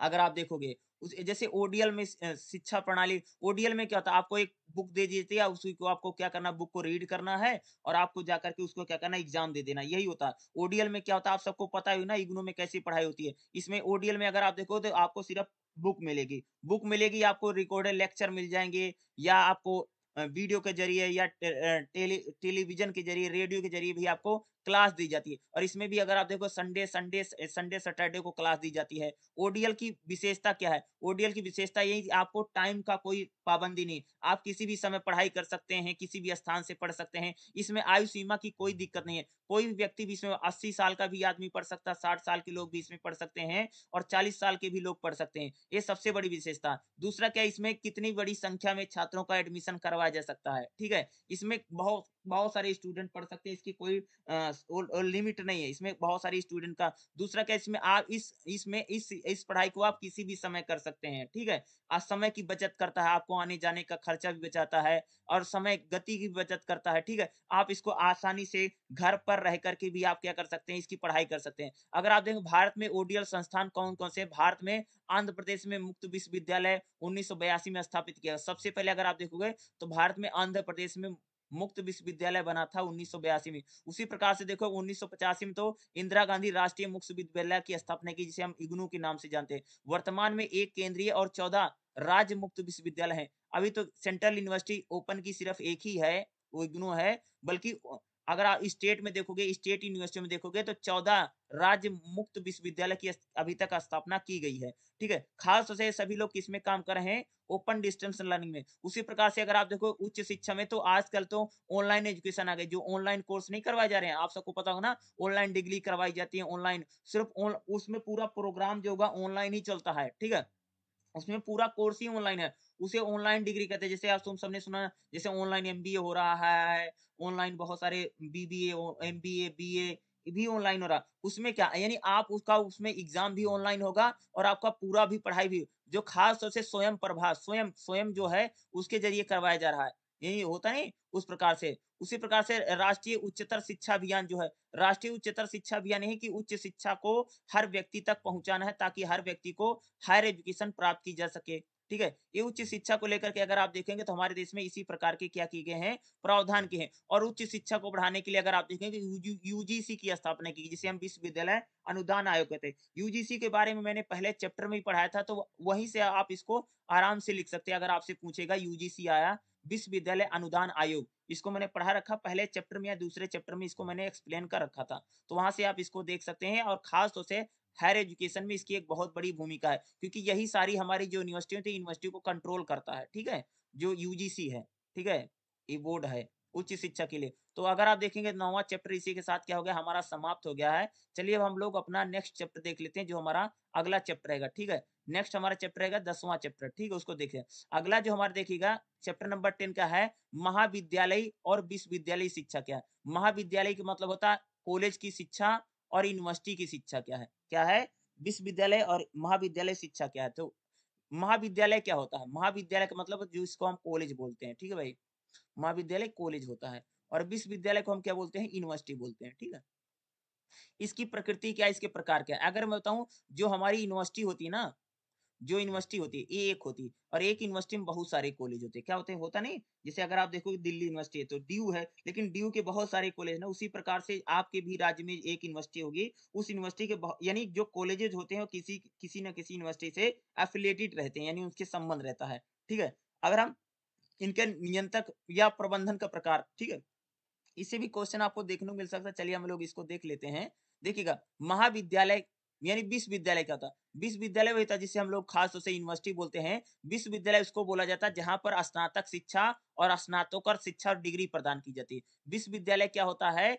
विश्वविद्यालय यानी यूनिवर्सिटी हम उसको जहाँ पर शोध किया जाता है, जहाँ पर रिसर्च की जाती है या जहाँ पर बी एमए या पीएचडी की डिग्रियाँ दी जाती है, वो हमारा विश्वविद्यालय होता है। विश्वविद्यालय कितने प्रकार के हैं? अगर आप देखोगे तो हमारे देश में विश्वविद्यालय तीन प्रकार के होते हैं। एक केंद्रीय विश्वविद्यालय होता है सेंट्रल यूनिवर्सिटी, दूसरा होता है स्टेट यूनिवर्सिटी होती है। और कुछ ऐसी प्राइवेट यूनिवर्सिटी होती है। तीन प्रकार की यूनिवर्सिटी होती है। कितने प्रकार की यूनिवर्सिटी होती है भाई मेरे? तीन प्रकार की यूनिवर्सिटी होती है। पहला अगर आप देखोगे केंद्रीय सेंट्रल यूनिवर्सिटी यानी केंद्रीय विश्वविद्यालय, दूसरा राज्य विश्वविद्यालय और तीसरा निजी यानी प्राइवेट विश्वविद्यालय होते हैं, जिसको हम बोलते हैं कि सेंट्रल यूनिवर्सिटी, स्टेट यूनिवर्सिटी और प्राइवेट यूनिवर्सिटियाँ होती हैं।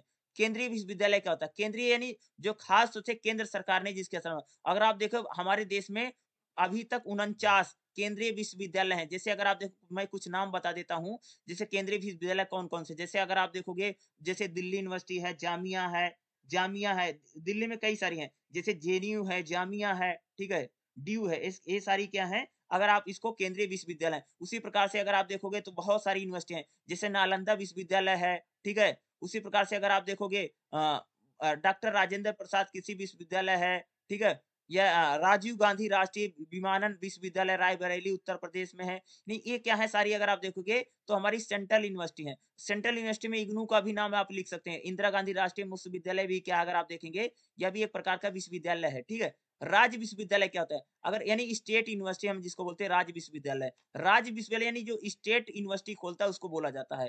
अगर आप देखें, लगभग हमारे देश में 400 से ज़्यादा राज्य विश्वविद्यालय हैं।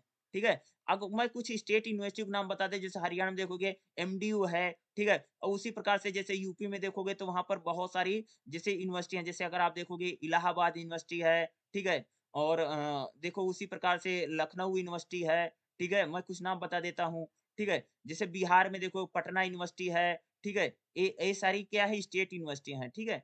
मैं कुछ यूनिवर्सिटी ये क्या है हमारे राज्य विश्वविद्यालय राज्य जो विश्वविद्यालय होता है, इसमें भी अगर आप देखोगे बी एम ए और पीएचडी प्रकार के प्रोग्राम चलाए जाते हैं, ठीक है? तीसरा प्रकार का विश्वविद्यालय का होता है, निजी विश्व, यानी प्राइवेट यूनिवर्सिटी होती है। प्राइवेट यूनिवर्सिटी भी हमारे देश में बहुत सारे हैं, मैं कुछ नाम बता, जैसे अमेठी है लवली प्रोफेशनल यूनिवर्सिटी है, बहुत सारी प्राइवेट यूनिवर्सिटी भी खुल गई हैं, अगर आप देखोगे, जिनका खूब सारा प्रचार होता रहता है ना, तुम सबने देखा होगा ना, इनका है। ये कुछ विश्वविद्यालय होते हैं, ठीक है? अगला देख लेते हैं नेक्स्ट हमारा जो रहेगा, भारत में महाविद्यालय क्या है? भाई देखो महाविद्यालय का था, महाविद्यालय को मतलब होता है कॉलेज जो हमारे कॉलेज होते हैं, ठीक है? जिसमें स्नातक या या कह सकते हो कि बीए और एमए की जो पढ़ाई होती है मास्टर डिग्री की क्या कराई जाती है? पढ़ाई की कराई जाती है, जो हमारे क्या होते हैं, महाविद्यालय। महाविद्यालय जो खास तौर से कॉलेज होते हैं, उनको हम महाविद्यालय बोलते हैं, ठीक है? महाविद्यालय अगर आप देखो, ये भी होते हैं। देखो, एक जो यूनिवर्सिटी होती है ना, एक यूनिवर्सिटी से कई सारे कॉलेज क्या होते हैं लिंक होते हैं, ठीक है? यूनिवर्सिटी तो एक होती है, ठीक है? बहुत बड़ी होती है, जिस, जिससे कह सकते हो किसी यूनिवर्सिटी से सौ कॉलेज, किसी यूनिवर्सिटी डेढ़ सौ कॉलेज, उसके लिंक होते हैं, ठीक है? इसको हम क्या बोलते हैं? महाविद्यालय, ठीक है? विश्वविद्यालय यूनिवर्सिटी होती है और महाविद्यालय का हम क्या बोलते हैं भाई मेरे? जो हमारे कॉलेज होते हैं, ठीक है? उन कॉलेजों को क्या बोला जाता है? महाविद्यालय बोला जाता है, ठीक है? वो कॉलेज होते हैं। कॉलेजेज में भी अगर आप देखोगे, यूनिवर्सिटी के जो रियल, वो यूनिवर्सिटी के ही जुड़े होते हैं, लेकिन उनमें भी संख्या अच्छी खासी होती है और जो कॉलेज होते हैं कॉलेजों की, कॉलेजों में जो कोर्सेज होते हैं, थोड़े कम होते हैं। यूनिवर्सिटी में सारे कोर्सेज अवेलेबल होते हैं और कई सारे कोर्सेज को यूनिवर्सिटी कैंपस से करवाती है। जैसे होता नहीं, भाई मैं तो यूनिवर्सिटी में पढ़ता हूँ यूनिवर्सिटी कैंपस में। और बहुत सारे लोग जो होते हैं, कॉलेजों में पढ़ाई करते हैं। तो यूनिवर्सिटी जो कॉलेज होते हैं, वो भी यूनिवर्सिटी से अफिलेटेड होते हैं, उनकी भी पूरी मान्यता होती है, ठीक है? और एक यूनिवर्सिटी से कई सारे कॉलेज होते हैं, ठीक है? अगर आप देखोगे और जो हमारे कॉलेज होते हैं और जो हमारी यूनिवर्सिटी, इनको कौन रेगुलेट करता है? यूजीसी करता है, यानी विश्वविद्यालय अनुदान आयोग जो यूजीसी होता है, ये इनको कंट्रोल करता है या इनको रेगुलेट करने का काम करता है, ठीक है? यूजीसी जो होता है, ठीक है? इस बात को ध्यान में रखिएगा, इससे आपसे पूछा जा सकता है।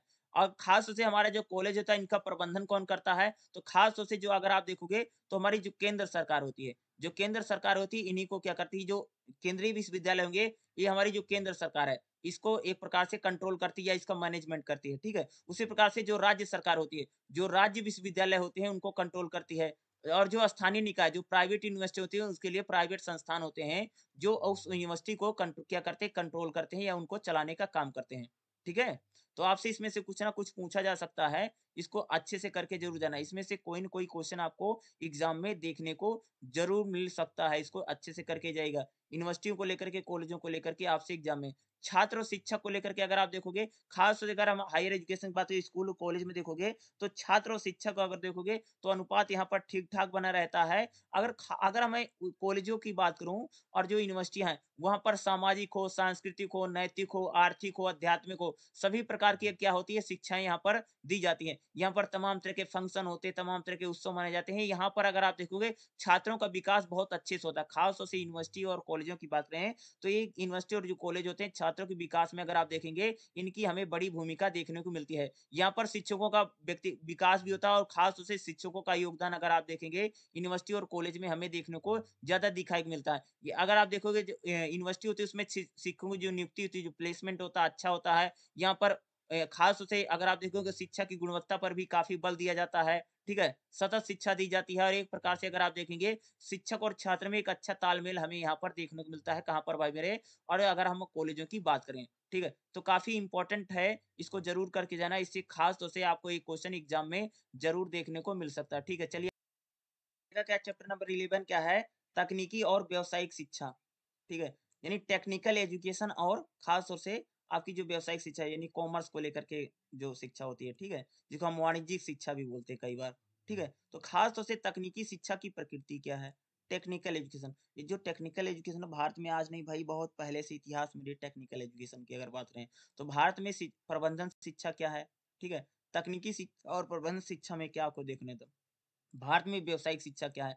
व्यवसायिक शिक्षा में अगर मैं बात करूँ ना, ये आठवें चैप्टर में भी इस बारे में मैंने बता रखा ना। अगर आप आप देखेंगे तो आपका जो आठवां चैप्टर है, उसमें भी हमने तकनीकी शिक्षा और व्यवसायिक शिक्षा के बारे में ही बता रखा है। ठीक है, अगर आप जाकर के वीडियो को थोड़ा पीछे करेंगे तो आपको ये देखने को मिलेगा। ठीक है, चलिए हम लोग इसको देख लेते हैं, इसमें क्या क्या है खास तौर से। तकनीकी शिक्षा और व्यावसायिक शिक्षा का महत्व क्या है, इसको तो मैंने उसमें बताया था। ठीक है, अगर आप देखेंगे तो मिलेगा उसमें आपको। ठीक है, तकनीकी शिक्षा की प्रकृति क्या है? भाई, अगर हम तकनीकी शिक्षा की बात करें, टेक्निकल देखिए भारत में तकनीकी शिक्षा क्या है? देखिएगा खास तौर से इंजीनियरिंग इंजीनियरिंग में जो डिग्री होती है तकनीकी शिक्षा है और जो डिप्लोमा करवाए जाते हैं। इंजीनियरिंग में अगर आप देखो, जो मास्टर डिग्री करवाई जाती होती, नहीं मास्टर डिग्री करवाई जाती है जिसको हम खास तौर से इंजीनियरिंग में मास्टर डिग्री एम टेक ठीक है? उसी प्रकार से मास्टर ऑफ़ कंप्यूटर अप्लीकेशन ठीक है? एम एम सी ए जो करवाया जाता है ना? एम सी ए जो करवाया, मास्टर ऑफ़ कंप्यूटर अप्लीकेशन ये भी टेक्निकल एजुकेशन है, तकनीकी शिक्षा है। उसी प्रकार से bachelor of business administration M B A ये भी खास तौर से अगर आप तकनीकी शिक्षा में आता है, ठीक है? उसी प्रकार से फार्मेसी पाठ्यक्रम। फार्मेसी में नहीं, जो खास तौर से बी फार्मा जो होता है ना, बी फार्मा और फार्मा जो होते हैं, वो फार्मेसी पाठ्यक्रम है। उसी प्रकार से हॉर्टिकल्चर वाले जो पाठ्यक्रम होते हैं, इसमें जो आता है, होटल मैनेजमेंट के जो प्रोग्राम है, ठीक है? होटल मैनेजमेंट करवाते नहीं होटल मैनेजमेंट? ये भी अगर आप देखो किसमें आता है, अगर आप देखें हमारे देश में, तकनीकी शिक्षा में आता तकनीकी शिक्षा में कौन कौन सा है? इंजीनियरिंग कॉलेज हैं, जो डिग्री डिप्लोमा देते हैं, इंजीनियरिंग में मास्टर डिग्रियाँ ठीक है एम खास तौर से मास्टर ऑफ़ कंप्यूटर एप्लीकेशन जैसे होता नहीं, जैसे बीसीए और एमसीए होता है। बीसीए एमसीए भी टेक्निकल एजुकेशन क्या है? जैसे हमारे देश में होता नहीं, बहुत सारे बच्चे बीसीए करते हैं, ठीक है? बैचलर ऑफ़ कंप्यूटर अप्लीकेशन और मास्टर ऑफ़ कंप्यूटर यानी एमसीए जिसको हम बोलते हैं, ठीक है? उसी प्रकार से एमबीए और एम ठीक है एमबीए होता है और उसी प्रकार से एक और कोर्स है जिसको हम लोग बीबीए बोलते हैं, ठीक है? बीबीए एमबीए ये सारा क्या होगा आप देखोगे टेक्निकल और व्यवसायिक शिक्षा में आएँगे। इसको दोनों मिक्स कर रखा है इन्होंने यहाँ पर, अगर आप देखेंगे, ठीक है?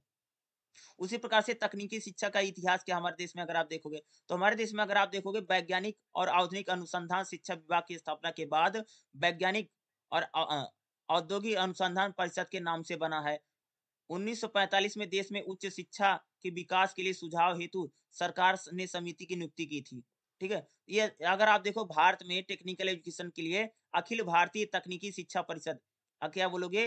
भारत में टेक्निकल एजुकेशन के लिए अखिल भारतीय शिक्षा परिषद ए ठीक है? इसकी क्या की गई? स्थापना की जो खास तौर से हमारे देश में टेक्निकल एजुकेशन को लेकर के क्या करती है? काम करती है। और टेक्निकल एजुकेशन को लेकर के भारत में अगर आप देखोगे तो राधा कृष्ण आयोग की स्थापना की गई थी, जिसने टेक्निकल एजुकेशन तकनीकी शिक्षा पर क्या दिया था? ज़ोर देने की बात की गई थी। उसी प्रकार से अगर आप देखोगे तो डॉक्टर लक्ष्मण स्वामी मुदालियर जो आयोग है, इसकी अध्यक्षता में भी अगर जब माध्यमिक शिक्षा आयोग आया था तो उसने भी बोला था कि भाई भारत में टेक्निकल जो एजुकेशन है, उस पर हमें क्या करना चाहिए? बल देने की बात की गई थी, ठीक है? उसी प्रकार से अगर हम बात करूँ जो कोठारी आयोग है, कोठारी आयोग ने भी अगर आप देखोगे तो साथ ही साथ हमारी जो राष्ट्रीय शिक्षा नीति उन्नीस सौ छियासी है, इन दोनों ने अगर आप देखोगे तो इन्होंने बोला था कि भाई हमें टेक्निकल एजुकेशन पर ध्यान देना है खास तौर से जो व्यावसायिक शिक्षा है और तकनीकी शिक्षा पर ज़्यादा से ज़्यादा बल दिया जाए। ठीक है? उसी प्रकार से अगर आप देखोगे, तकनीकी शिक्षा में विज्ञान की शिक्षा को भी संकलित करने की बात यानी साइंस की शिक्षा, ठीक है? साइंस की शिक्षा को बढ़ावा देने के लिए भी क्या की गई थी? बात की गई थी, ठीक है? ये तो हो गया। भारत में भारत में प्रबंधन शिक्षा क्या है? मैनेजमेंट की जो शिक्षा करवाई जाती होती नहीं? जैसे अगर आप देखो मैनेजमेंट की शिक्षा करवाई, जैसे खास उसे देखो होता ना आईएम जो खुले है ना आईएम जो होता है मैनेजमेंट के जो प्रोग्राम है, होता नहीं मैनेजमेंट जैसे एम होता है बीबीए होता है, सारे मैनेजमेंट के प्रोग्राम है, ठीक है? भारत में प्रबंधन शिक्षा मैनेजमेंट की जो मैनेजमेंट जो प्रोग्राम है बीबीए है एमबीए है एमसीए है बीसीए है, ये मैनेजमेंट के सारे प्रोग्राम करवाए जा रहे हैं, ठीक है? और इसको भी लेकर के एक सारे आप सबको पता ही होगा मैनेजमेंट जैसे एमबीए को लेकर के देखने व्यवसायिक प्रशासन में जैसे एमबीए की कार्यक्रम की शुरुआत की गई है ना, इसको लेकर के, खास उसे आई भी हमारे देश में खुले हैं, जो खास उसे जिसमें एजुकेशन दी जा रही है। उसी प्रकार से टेक्निकल एजुकेशन तकनीकी शिक्षा और प्रबंधन शिक्षा के संस्थान तंत्र है। देखो, अगर आप देखो, हमारी जो केंद्र सरकार है, जो राज्य सरकार है, और कुछ ऐसे प्राइवेट इंस्टीट्यूट हैं, जो खास तौर से अगर आप देखिए तकनीकी शिक्षा और प्रबंधन शिक्षा दोनों में लगे हैं। भाई सेंट्रल यूनिवर्सिटी सेंट्रल भी सेंटर की तरफ़ से भी स्टेट की तरफ़ से भी, और प्राइवेट की भी तरफ़ से देखोगे तो हमारे देश में खुले हैं ताकि देने के लिए, ठीक है? मैनेजमेंट के लिए अगर आप देखो तो हमारे देश में देखोगे तो जैसे अहमदाबाद में, कोलकाता में, लखनऊ में, इंदौर में, उदयपुर में, रायपुर में, रोहतक में, ठीक है, रोहतक में भी आई है, ठीक है? मैं रोहतक से हूँ, ठीक है? तो शिलोंग में, काशीपुर में, रांची में, नागपुर में, विशाखापट्टनम में, यहाँ पर अगर, यहाँ आईएमएम की स्थापना की गई है, ठीक है? भारतीय प्रबंधक, भारतीय संस्थान है आई रोहतक में भी आई एम उसी प्रकार से आईआईटी कहाँ कहाँ पर है? हमारे देश में अगर आईआईटी की बात करें, जो देखोगे तो जैसे देखो इसमें कौन कौन सा, मुंबई है, दिल्ली है, कानपुर है, खड़गपुर है, मद्रास है, गुवाहाटी है, रुड़की है, हैदराबाद है, पटना है, भुवनेश्वर है, रोपड़ है, गांधीनगर है, इंदौर है, मंडी है और वाराणसी। यहाँ पर यहाँ पर आईआईटी की स्थापना की गई। उसी प्रकार से अगर आप देखोगे भारतीय विज्ञान शिक्षा अनुसंधान, खास तौर से अगर आप देखो शिक्षा इसको लेकर के। तो इसको मेडिकल जो कॉलेज जिसको हम बोलते हैं मेडिकल कॉलेज तो हमारे देश में बहुत सारे हैं, ठीक है, अगर आप देखोगे। तो सूचना को लेकर के आईआईटी को लेकर के कौन कौन से संस्थान अगर आप देखोगे, जैसे भारतीय सूचना प्रौद्योगिकी संस्थान इलाहाबाद है, अटल बिहारी अटल बिहारी वाजपेयी भारतीय सूचना प्रौद्योगिकी ग्वालियर में जो स्थापित किया है, ये आईआईटी को लेकर के जो बनाई गई है, अगर आप देखोगे। उसी प्रकार से अन्य संस्थान देखोगे, जैसे खास तौर से एनआईटी की भी स्थापना की गई है, ठीक है? आईआईटी से नीचे जो आता है, उसको हम लोग क्या बोलते हैं? एनआईटी बोलते हैं, ठीक है? अलग अलग राज्यों में भी एनआईटी को हमें देखने को मिलता है। ये सारा अगर आप देखोगे तो टेक्निकल एजुकेशन व्यवसायिक शिक्षा में क्या कर रहे हैं? सारे काम करे तकनीकी शिक्षा के स्तर क्या क्या है? तो अगर खास उसे स्नातक लेवल पर देखोगे, तकनीकी शिक्षा क्या है? जैसे बीटेक है बीई करवाई जाती है। होती ना? बीटेक करवाई जाती है। उसी प्रकार से अगर आप देखो, परा स्नातक पर आपको क्या मिलेगा? एम टेक होता है एम e होता है। उसी प्रकार से देखोगे परा एम है जो खास जैसे एम की डिग्री है पीएचडी है डी है ठीक है? या डिप्लोमा है या एडवांस डिप्लोमा है या को, कोई प्रबत होता नहीं सर्टिफिकेट प्रोग्राम भी करवाए जाते हैं ना ये तकनीकी शिक्षा के सारे के बारे जैसे खास से आईटीआई है जैसे पॉलिटेक्निक है ठीक है? इस प्रकार के भी अगर आप देखोगे तो हमारे देश में टेक्निकल एजुकेशन और व्यवसायिक शिक्षा के सारे क्या है डिग्रियाँ करवाई जा रही है। हर लेवल पर है। यानी दस बारहवीं से शुरू यानी दसवीं, बारहवीं से, यानी बारहवीं शुरू हो रही है और खास तौर से पीएचडी लेवल तक जाती है जितनी भी अगर आप देखोगे हमारे देश में व्यवसायिक शिक्षा और टेक्निकल एजुकेशन दी जा रही है, तकनीकी शिक्षा, ठीक है? काफ़ी इंपॉर्टेंट है, इससे भी क्वेश्चन आपके एग्ज़ाम में आ सकता है। भारत में व्यवसायिक शिक्षा क्या है? व्यवसायिक शिक्षा की खास तौर से हम लोग अभी बात की ना, भाई व्यवसायिक शिक्षा का व्यवसायिक शिक्षा में चिकित्सा शिक्षा। आज आप सबको पता हो कि हमारे देश में मेडिकल कॉलेज यानी चिकित्सा महाविद्यालय की भी स्थापना खूब सारी कीजिए खास तौर से इसमें एमबी इसमें अगर आप देखोगे M B B S M B B S M B B S को लेकर के खास तौर से उसी प्रकार से जैसे नीट नीट को लेकर के एग्ज़ाम करवाया जाता है तो इसको लेकर के पूरा काम किया जा रहा है खास मेडिकल में।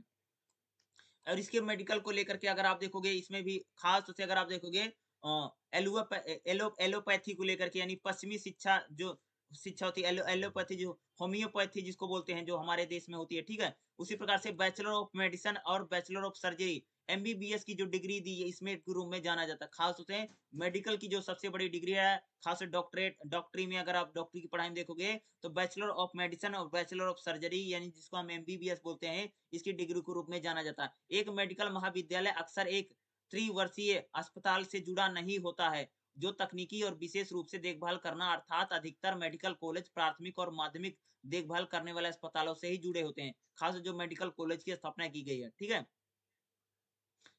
ये मेडिकल कॉलेज वाला काफ़ी इंपॉर्टेंट है, आपके एग्ज़ाम में आ सकता है, शायद मुझे लगता है पिछली बार इसको पूछा गया था, क्या पता इस बार भी आ सकता कानूनी शिक्षा की बात तो अगर आप देखो हमारे देश में, अगर आप देखो उच्च शिक्षा में देखोगे तो इसमें अगर आप देखोगे L L B L L M ठीक है? ये कानूनी शिक्षा में आता है एल एल बी की पढ़ाई और एल एल एम जो होता है, ठीक है? एक इसमें आता है? कानूनी शिक्षा में आता है। इसको लेकर भी कानूनी शिक्षा का तंत्र भी तो तीन वर्षीय बैचलर डिग्री है बैचलर ऑफ़ लॉ, जिसको हम लोग क्या बोलते हैं? एलएलबी। और उसी प्रकार से जैसे बी एल एल बी होते ना, वो पाँच वर्षीय होता है। पाँच साल में क्या होता है? बी एल एल बी करवाया जाता है। इसमें तीन साल की बी ए और दो साल का एल एल बी भी ज्वाइंट होता है। बी, जिसको हम क्या बोलते हैं? बी एल एल बी होता है। उसी प्रकार से दो साल की एल एल एम की डिग्री होती है। क्या होती है? एल एल एम ठीक है? दो वर्ष के एलएलएम की डिग्री। ये भी अगर आप देखिए, पूरा क्या है, अगर उसी प्रकार से अगर आप देखोगे कि हमारी जो व्यवसायिक शिक्षा, सॉरी, कानूनी शिक्षा होती है, जिसकी हम कानूनी शिक्षा जो होती है, उसको कंट्रोल कौन करता है? बार काउंसिल करता है। ठीक है बार काउंसिल करता है। ये क्या करता है? पूरी हमारी जो व्यवसायिक शिक्षा होती है, उसको कंट्रोल करने के लिए इसकी स्थापना की गई ठीक है, जो बार काउंसिल होगा, वो क्या करता है? इसको कंट्रोल करता है। ठीक है, इसमें मुझे लगता है यही इंपॉर्टेंट है। इसमें से अगर आप जो पूछने के लिए आपके लिए अगर आ सकता है, ठीक है? इसी में से आपके क्वेश्चन जो रहेगा एग्ज़ाम में आ जाएगा, ठीक है? चलिए अगला चैप्टर देख लेते हैं, जो हमारा नेक्स्ट चैप्टर कौन कौन सा, उसमें क्या इंपॉर्टेंट रहने वाला है, ठीक है? अगर अगला चैप्टर की बात करें तो अगला चैप्टर काफ़ी इंपॉर्टेंट अगर आप देखें, इसमें जो आपका दिया गया है, इसमें अगर आप देखें तो क्या दिया गया है? मुक्त एवं दूरस्थ, अधिगम, एवं ऑनलाइन शिक्षा। आप सबको पता आज के टाइम में कितनी सारी ऑनलाइन एजुकेशन दी जा रही भाई। ऑनलाइन एजुकेशन तो आपको लिए सबसे ज़्यादा आसान होगा। तो जैसे यहाँ पर देखो ऑनलाइन शिक्षा क्या है? ऑनलाइन शिक्षा क्या होती है? जैसे कोरोना के बाद से अगर आपने देखा होगा, ऑनलाइन शिक्षा होती क्या खास तौर से जब हम इंटरनेट के थ्रू या उसकी किसी अपने पीडीएफ के थ्रू या कोई वेबसाइट के थ्रू, एप्लीकेशन के थ्रू जब शिक्षा दी जाती है, उसको हम क्या बोलते हैं? ऑनलाइन एजुकेशन बोला जाता है। अगर आप देखेंगे, भारत में ऑनलाइन एजुकेशन तो खूब सारा बढ़ रहा है, देखते नहीं? अब वैसे भी अगर आप देखो, जो हमारी न्यू एजुकेशन पॉलिसी उसमें बोला गया फोर्टी परसेंट जो सिलेबस होगा, उसमें ऑनलाइन रखा जाएगा। उसी प्रकार से जब से कोरोना फैला था, कोरोना की बात तो आप सबने देखा, कितनी सारी ऑनलाइन क्लासेज होती थी। जैसे आज ये ऑनलाइन ही तो सारी शिक्षा है, अगर आप देखो, जो यूट्यूब पर आप लोग पढ़ रहे हैं, या जैसे खास जैसे जूम पर क्लासेज होती है गूगल मीट पर क्लासेज होती है, ये सारा क्या, ये सारा ऑनलाइन ही एजुकेशन तो है। कोरोना में जब फैला था उस, तभी तो देखोगे तो इंडिया में ऑनलाइन एजुकेशन का अगर आप देखोगे तो पूरी तरह से जो तंत्र है जिसको हम लोग वो जाल बोलते हैं तो पूरी तरीके से जो जाल है वो फैल गया ऑनलाइन एजुकेशन का, ठीक है? उसी प्रकार से मुक्त शिक्षा मुक्त और दूरस्थ शिक्षक है, जिसको हम खास तौर से ओडीएल बोलते हैं। इग्नू जैसे जो इंस्टीट्यूट है, जैसे इग्नू इग्नू है एसओएल है, ठीक है? उसी प्रकार से अगर आप राष्ट्रीय टंडन ओपन यूनिवर्सिटी है, ठीक है? जैसे अगर आप देखोगे बहुत सारी यूनिवर्सिटी हैं उसी प्रकार राजस्थान में भी ओपन यूनिवर्सिटियाँ हैं, या उत्तराखंड उत्तराखंड ओपन यूनिवर्सिटी है, ठीक है? ये सारी ओपन यूनिवर्सिटी क्या है? ये मुक्त और दूरस्थ शिक्षा में अगर आप देखोगे काम करेंगे, ठीक है? ऑनलाइन एजुकेशन में तो कुछ करें उसी प्रकार से बहुत सारी यूनिवर्सिटी जैसे इग्नू जैसी यूनिवर्सिटियाँ मुक्त और दूरस्थ शिक्षा का मतलब होता है कि आप डेली क्लास नहीं करते हैं और आप सिर्फ़ संडे सैटरडे पढ़ रहे हैं। आपको कुछ पाठ्यक्रम यानी आपको किताबें पकड़ा दी गई, उसको पढ़ करके आप जाकर के क्या कर लेते हैं, आप अपने एग्ज़ाम को क्रैक कर लेते हैं। यही होता है ओडीएल में जो पढ़ाई हो रही है, ठीक है? ओपन डिस्टेंस लर्निंग खासतौर से इग्नू में जो पढ़ाई होती है, वह ओपन डिस्टेंस लर्निंग में होती है। इसमें क्या होता है? इसमें बच्चों का एडमिशन करवा लिया जाता है और बच्चों को किताबें मिल जाती है। और बच्चे जो होते किताबों को पढ़ते हैं साल भर, उसके बाद उनका एग्ज़ाम ले लिया जाता है और उसको उनका रिज़ल्ट दे दिया जाता है, ठीक है? इस प्रकार से इसमें क्या होती है? पढ़ाई की जाती है। इसमें अगर आप देखेंगे तो इसमें ना तो समय सीमा की कोई दिक्कत है, इसमें आपकी कितनी एज है, कितनी उम्र है, इसकी कोई बात नहीं है और इसमें कितने भी स्टूडेंट का क्या एडमिशन करवाया जा सकता है, जिसको हम क्या बोलते हैं? मुक्त दूरस्थ शिक्षा, जिसी को बोलता है ओडीएल बोला जाता, ठीक है? ओपन डिस्टेंस लर्निंग ठीक है? जिसको बोला जाता है। और इसमें कुछ यूनिवर्सिटी जैसे इग्नू है, उसी प्रकार से दिल्ली में जो लोग हैं, उनको पता है एस चलता है दिल्ली यूनिवर्सिटी का एक ब्रांच चलती है जिसको एसओएल बोला जाता है। उसी प्रकार से और कुछ ओपन यूनिवर्सिटी को मैं नाम बताऊँ, जैसे उत्तर प्रदेश में देखो, राष्ट्रीय टंडन ओपन यूनिवर्सिटी है। उसी प्रकार से अगर आप बिहार में भी ओपन यूनिवर्सिटी है, नालंदा ओपन यूनिवर्सिटी है, उत्तराखंड में देखो, उत्तराखंड उत्तराखंड ओपन यूनिवर्सिटी है, ठीक है? उसी प्रकार से अगर आप देखोगे मध्य प्रदेश में मध्य मध्य प्रदेश में भोज ओपन यूनिवर्सिटी है, ठीक है? महाराष्ट्र में भी ओपन यूनिवर्सिटियाँ हैं, महाराष्ट्र ओपन यूनिवर्सिटी है, ठीक है? उसी प्रकार से अगर आप राजस्थान में जाओगे, राजस्थान में भी ओपन यूनिवर्सिटियाँ हैं तो ये सिर्फ़ युग्नो ही नहीं, बहुत सारी ओपन यूनिवर्सिटी हैं जो खास तौर से दूरस्थ शिक्षा में क्या कर रही हैं, काम कर रही हैं। ऐसे लोगों को एजुकेशन दे रही हैं, जो लोग आगे पढ़ाई नहीं कर पा रहे खास तौर से रेगुलर कॉलेज नहीं कर पाते हैं, या कोई उनकी नौकरी है, या कोई रोज़गार है, कुछ काम कर रहे हैं जो पढ़ाई नहीं कर पा रहे, उनको मुक्त एवं दूरा शिक्षा के ज़रिए अगर आप देखेंगे एजुकेशन दी जा रही उसे ऑनलाइन का तो मैंने बता दिया ऑनलाइन को लेकर के भी आपके एग्ज़ाम में क्वेश्चन आ सकता है। ऑनलाइन वाला तो आपके लिए मुझे लगता है बहुत आसान हो जाएगा, इसको तो आप आसानी से लिख पाएँगे, जितने भी बच्चे होंगे, आपको तो ऑनलाइन वैसे भी पता होगा ऑनलाइन में कैसे। कोरोना के बाद से तो ऑनलाइन ऑनलाइन में अगर आप देखोगे यूट्यूब के ज़रिए, ठीक है, दूसरा वेबसाइट के ज़रिए दी जा ऑनलाइन जो एप्लीकेशन होता है इसके ज़रिए शिक्षा दी जा रही है। उसी प्रकार से इंटरनेट पर शिक्षा दी जा रही है। ठीक है? उसी प्रकार से गूगल मीट है जूम है इन एप्लीकेशनों पर आपको ऑनलाइन शिक्षा दी जाती है, ठीक है? उसी प्रकार से बहुत सारी यूनिवर्सिटियों ने अपनी वेबसाइट बना ली है, वहाँ पर ऑनलाइन बुकें आ जाती हैं पीडीएफ फॉर्म में आ जाती हैं, उससे भी ऑनलाइन एजुकेशन दी जा रही ना? ये सारी क्या? ऑनलाइन एजुकेशन है। कंप्यूटर यानी टेक्नोलॉजी का प्रयोग करके देखो कितनी सारी ऑनलाइन एजुकेशन आज के समय में दी जा रही है। कोरोना जब चल रहा था, वहाँ पर देखोगा कि बच्चों को क्लास भी ऑनलाइन दी जाती थी। ये सारी क्या है? ये ऑनलाइन एजुकेशन ही तो है। इग्नू देखो, इग्नू कितनी सारी ऑनलाइन एजुकेशन कर रहा है। आज अगर देखोगे तो हमारे देश में ज़्यादा से ज़्यादा जो एजुकेशन है ऑनलाइन ही हो रही आप लोग भी जो वीडियो देख रहे हैं, आप लोग भी जो पढ़ाई कर रहे हैं, कैसे करें भाई ऑनलाइन ही तो कर पा रहे हैं। ऑनलाइन एजुकेशन का ही प्रभाव है। और खास तौर से जब से हमारे देश में कोरोना था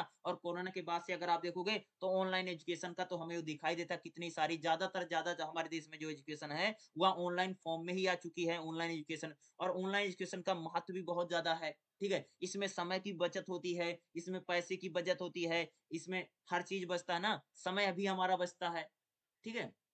यानी इंटरनेट के ज़रिए समय बच भी रहा है। ऑनलाइन एजुकेशन जिसमें इंटरनेट के ज़रिए लाभ दिया जाए ऑनलाइन एजुकेशन का लाभ क्या है? हमारा समय बचता है, हमारा टाइम बचता है, ठीक है? आने जाने का खर्चा बचता है, सरकार का भी खर्चा बचता है, ठीक है? और हमारा हम अपना कोई दूसरा भी काम कर सकते हैं ऑनलाइन एजुकेशन जैसे मान लो कि भाई अपना समय निकाल करके उसको वीडियो को देख सकते हैं, चीज़ों कर सकते हैं। यही तो क्या ऑनलाइन एजुकेशन का लाभ है ना?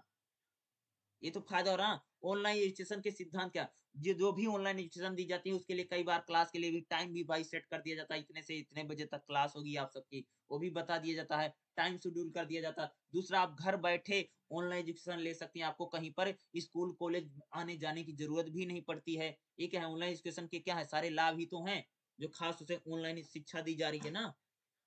ऑनलाइन में एजुकेशन दी जा रही है। तो खास उसे जो बारहवा चैप्टर इससे अगर कोई क्वेश्चन आपको आ गया, बीस नंबर में आ गया तो अच्छे से हेडिंग बना बना करके आप इसको लिख देना, क्योंकि हमारे लिए इंपॉर्टेंट हो सकता है मुक्त एवं दूरस्थ शिक्षा और दूसरा जो ऑनलाइन शिक्षा है, इसको लेकर के क्वेश्चन एग्ज़ाम में पूछे जा सकते हैं। कर देना आराम से, ठीक है? चलिए हम लोग अगला चैप्टर देख क्या है? चैप्टर नंबर थर्टीन क्या रहेगा?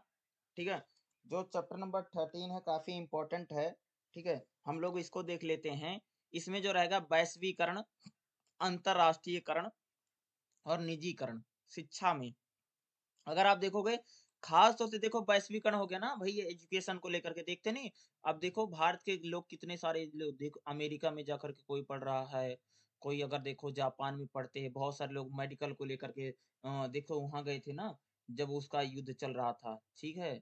जब रूस का और यूक्रेन का यूज़, बहुत सारे बच्चे यूक्रेन में जाकर के मेडिकल की पढ़ाई कर रहे हैं। वैसे भी अगर आप देखो, बहुत सारे लोग हमारे देश के लोग हैं। अमेरिका जा कर के या ऑस्ट्रेलिया जा कर के जापान जा कर के या कोरिया जा कर के या अलग अलग देशों में जा कर के देखते नहीं वो सारे पढ़ाई कर रहे हैं यही तो है शिक्षा का वैश्वीकरण हो जाना।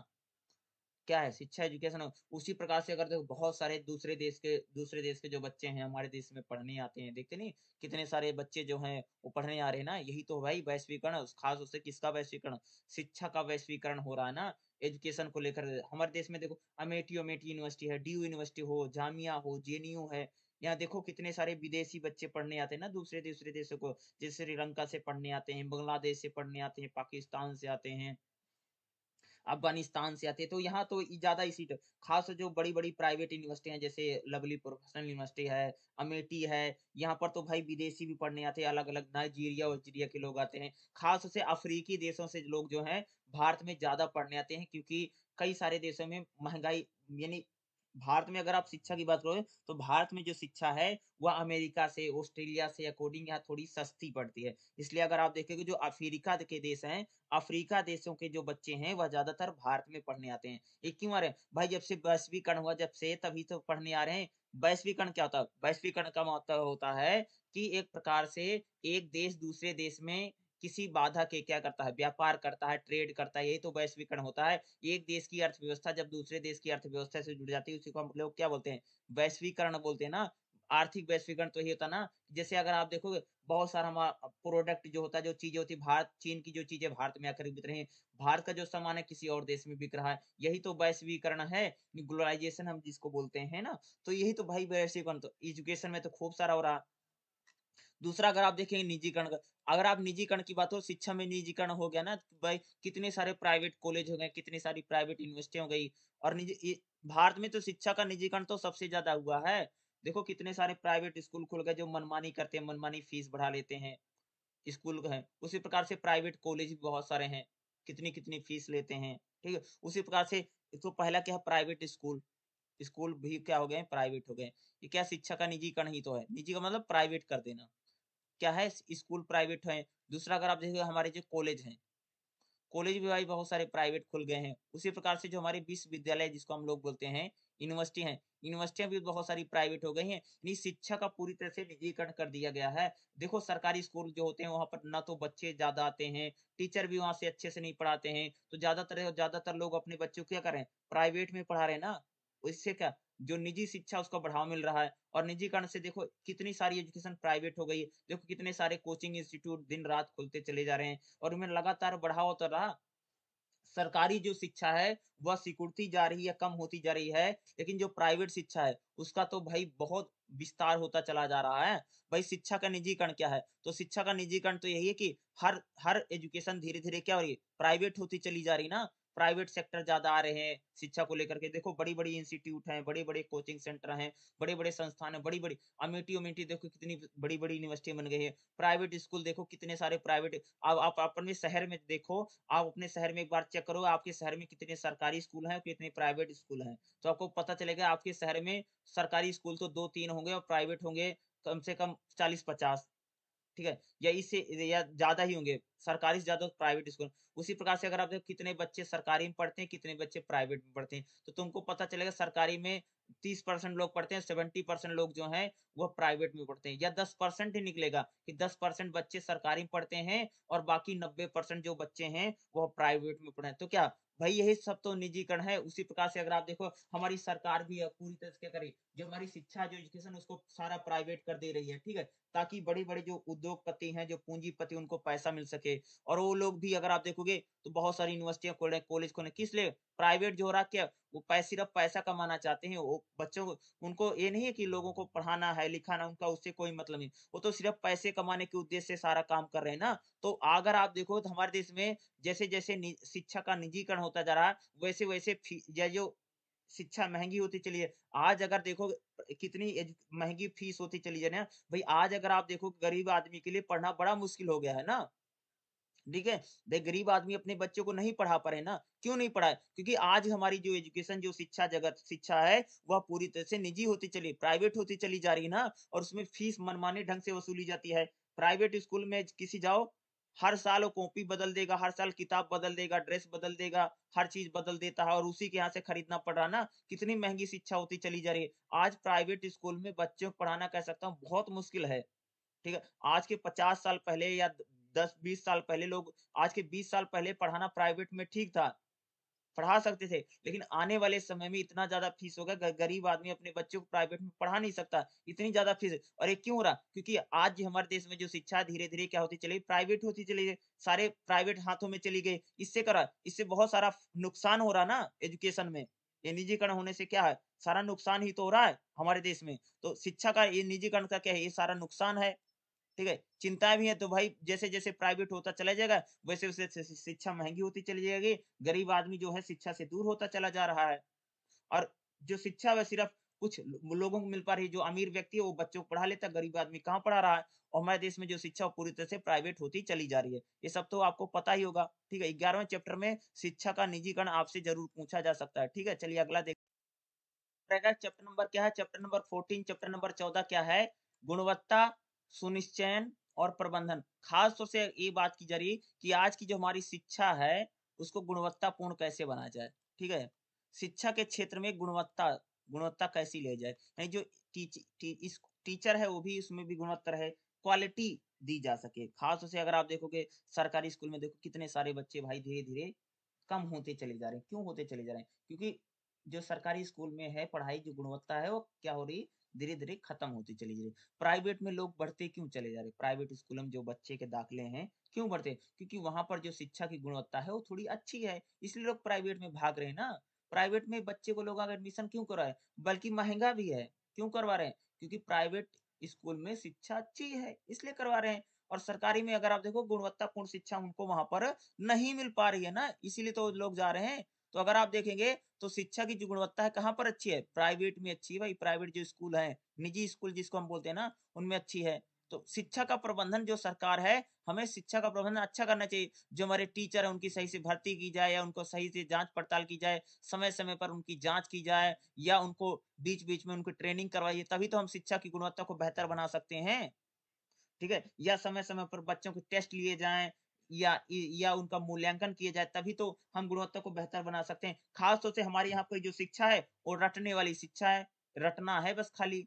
तो हमें उसमें एक प्रकार से बच्चों को आनंद आए खुशी मिले, या उसमें हम गीत संगीत को, या या खेल को अगर हम ऐड करें तो शायद हमारी जो शिक्षा है, वो ज़्यादा गुणवत्तापूर्ण हो सकती है। या अगर हम टीचर जो हमारे हैं उनको भी हम ठीक करें, ठीक है? या टीचरों की जो हालत है सरकारी स्कूल में, देखो, टीचर पढ़ाते नहीं है, उनको भी हमें सही से मैनेजमेंट करने की ज़रूरत है, क्योंकि हमारी जो सरकार है, सरकारी स्कूल में जो टीचर हैं, उनका सही से मैनेज नहीं कर पा रही है। इसलिए अगर आप देखो, हमारे देश में जो शिक्षा की गुणवत्ता है धीरे धीरे उसका खस्ताल होता चला जा रहा है।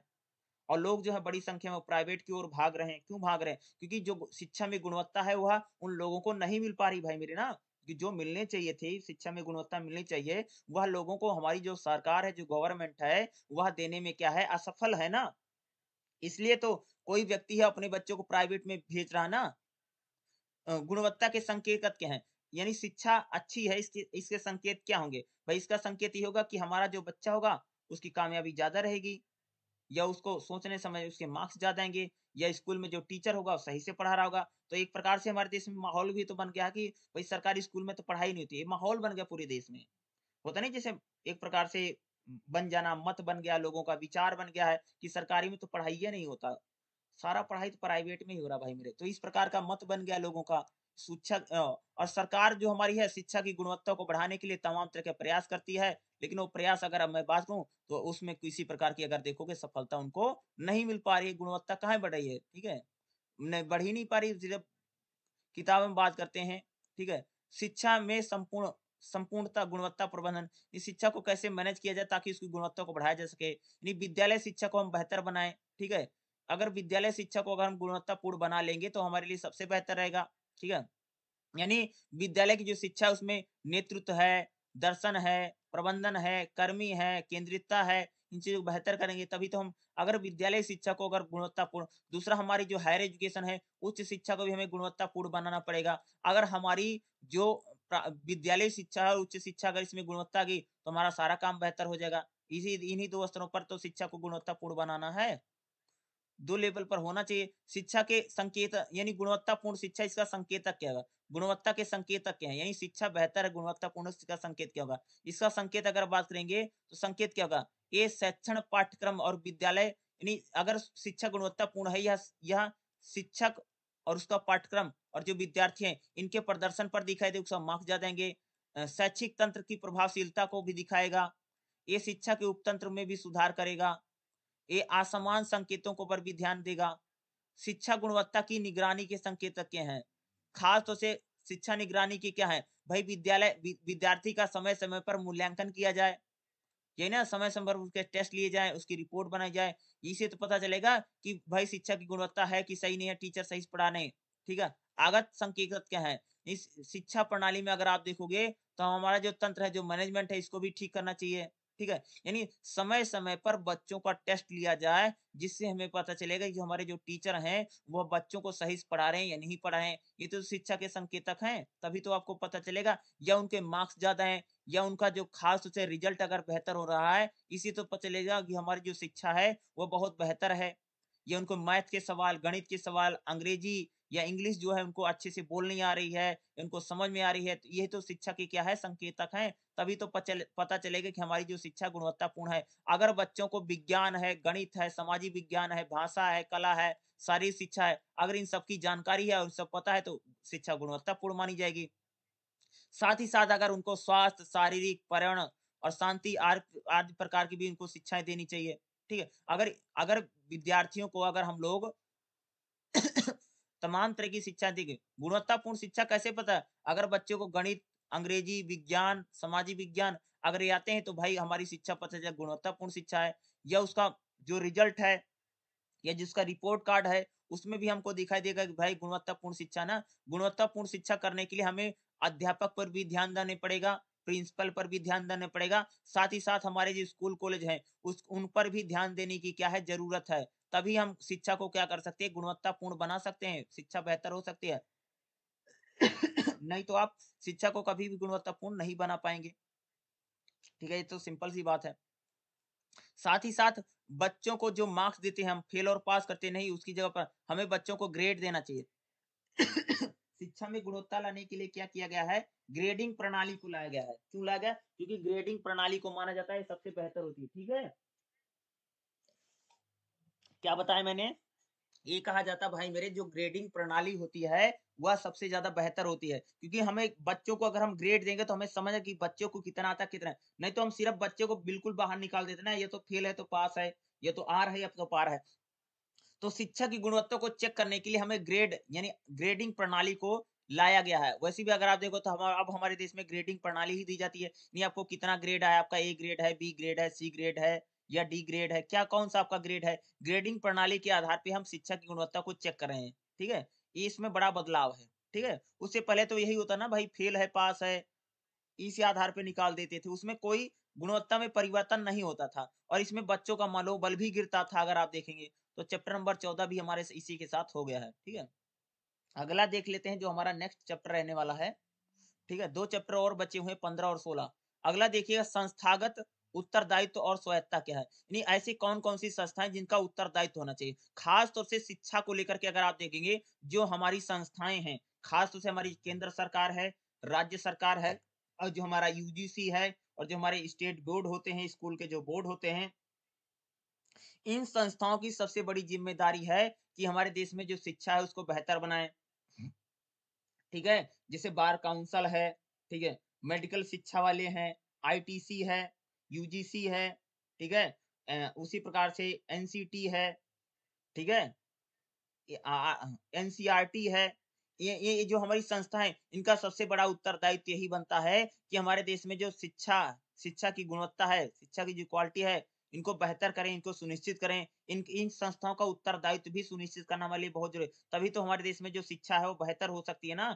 जो तमाम शैक्षिक संस्थाएँ हैं या अगर इनका उत्तरदायित्व रहे, अगर इनको जिम्मेदार बनाएँगे, तभी तो हमारे देश में जो शिक्षा है या उसकी क्वालिटी है बेहतर हो सकती है ना? नहीं तो हमारे देश में शिक्षा की जो क्वालिटी है, वह कभी भी भाई मेरे बेहतर नहीं हो पाएगी। जैसा हम लोग सोच रहे हैं कि हम शिक्षा की क्वालिटी को ज़्यादा बेहतर बनाएँगे या शिक्षा को गुणवत्तापूर्ण बना लेंगे, शिक्षा को गुणवत्तापूर्ण बनाने में हमें काफ़ी दिक्कत का सामना पड़ेगा। शिक्षा को हम गुणवत्तापूर्ण नहीं बना पाएँगे, खासतौर से जो हमारा उद्देश्य है कि शिक्षा को गुणवत्तापूर्ण बना जाए। रिस्पॉन्सिबल बनाने, यानी जो हमारी संस्थाएँ हैं, शैक्षिक संस्थाएँ इनको हमें उत्तरदायी बनाना है, ठीक है? इनसे सवाल पूछे जाए कि भाई ऐसा संगठन में सुधार क्यों नहीं हो रहा? शिक्षा में सुधार के लिए इनका उत्तरदायित्व।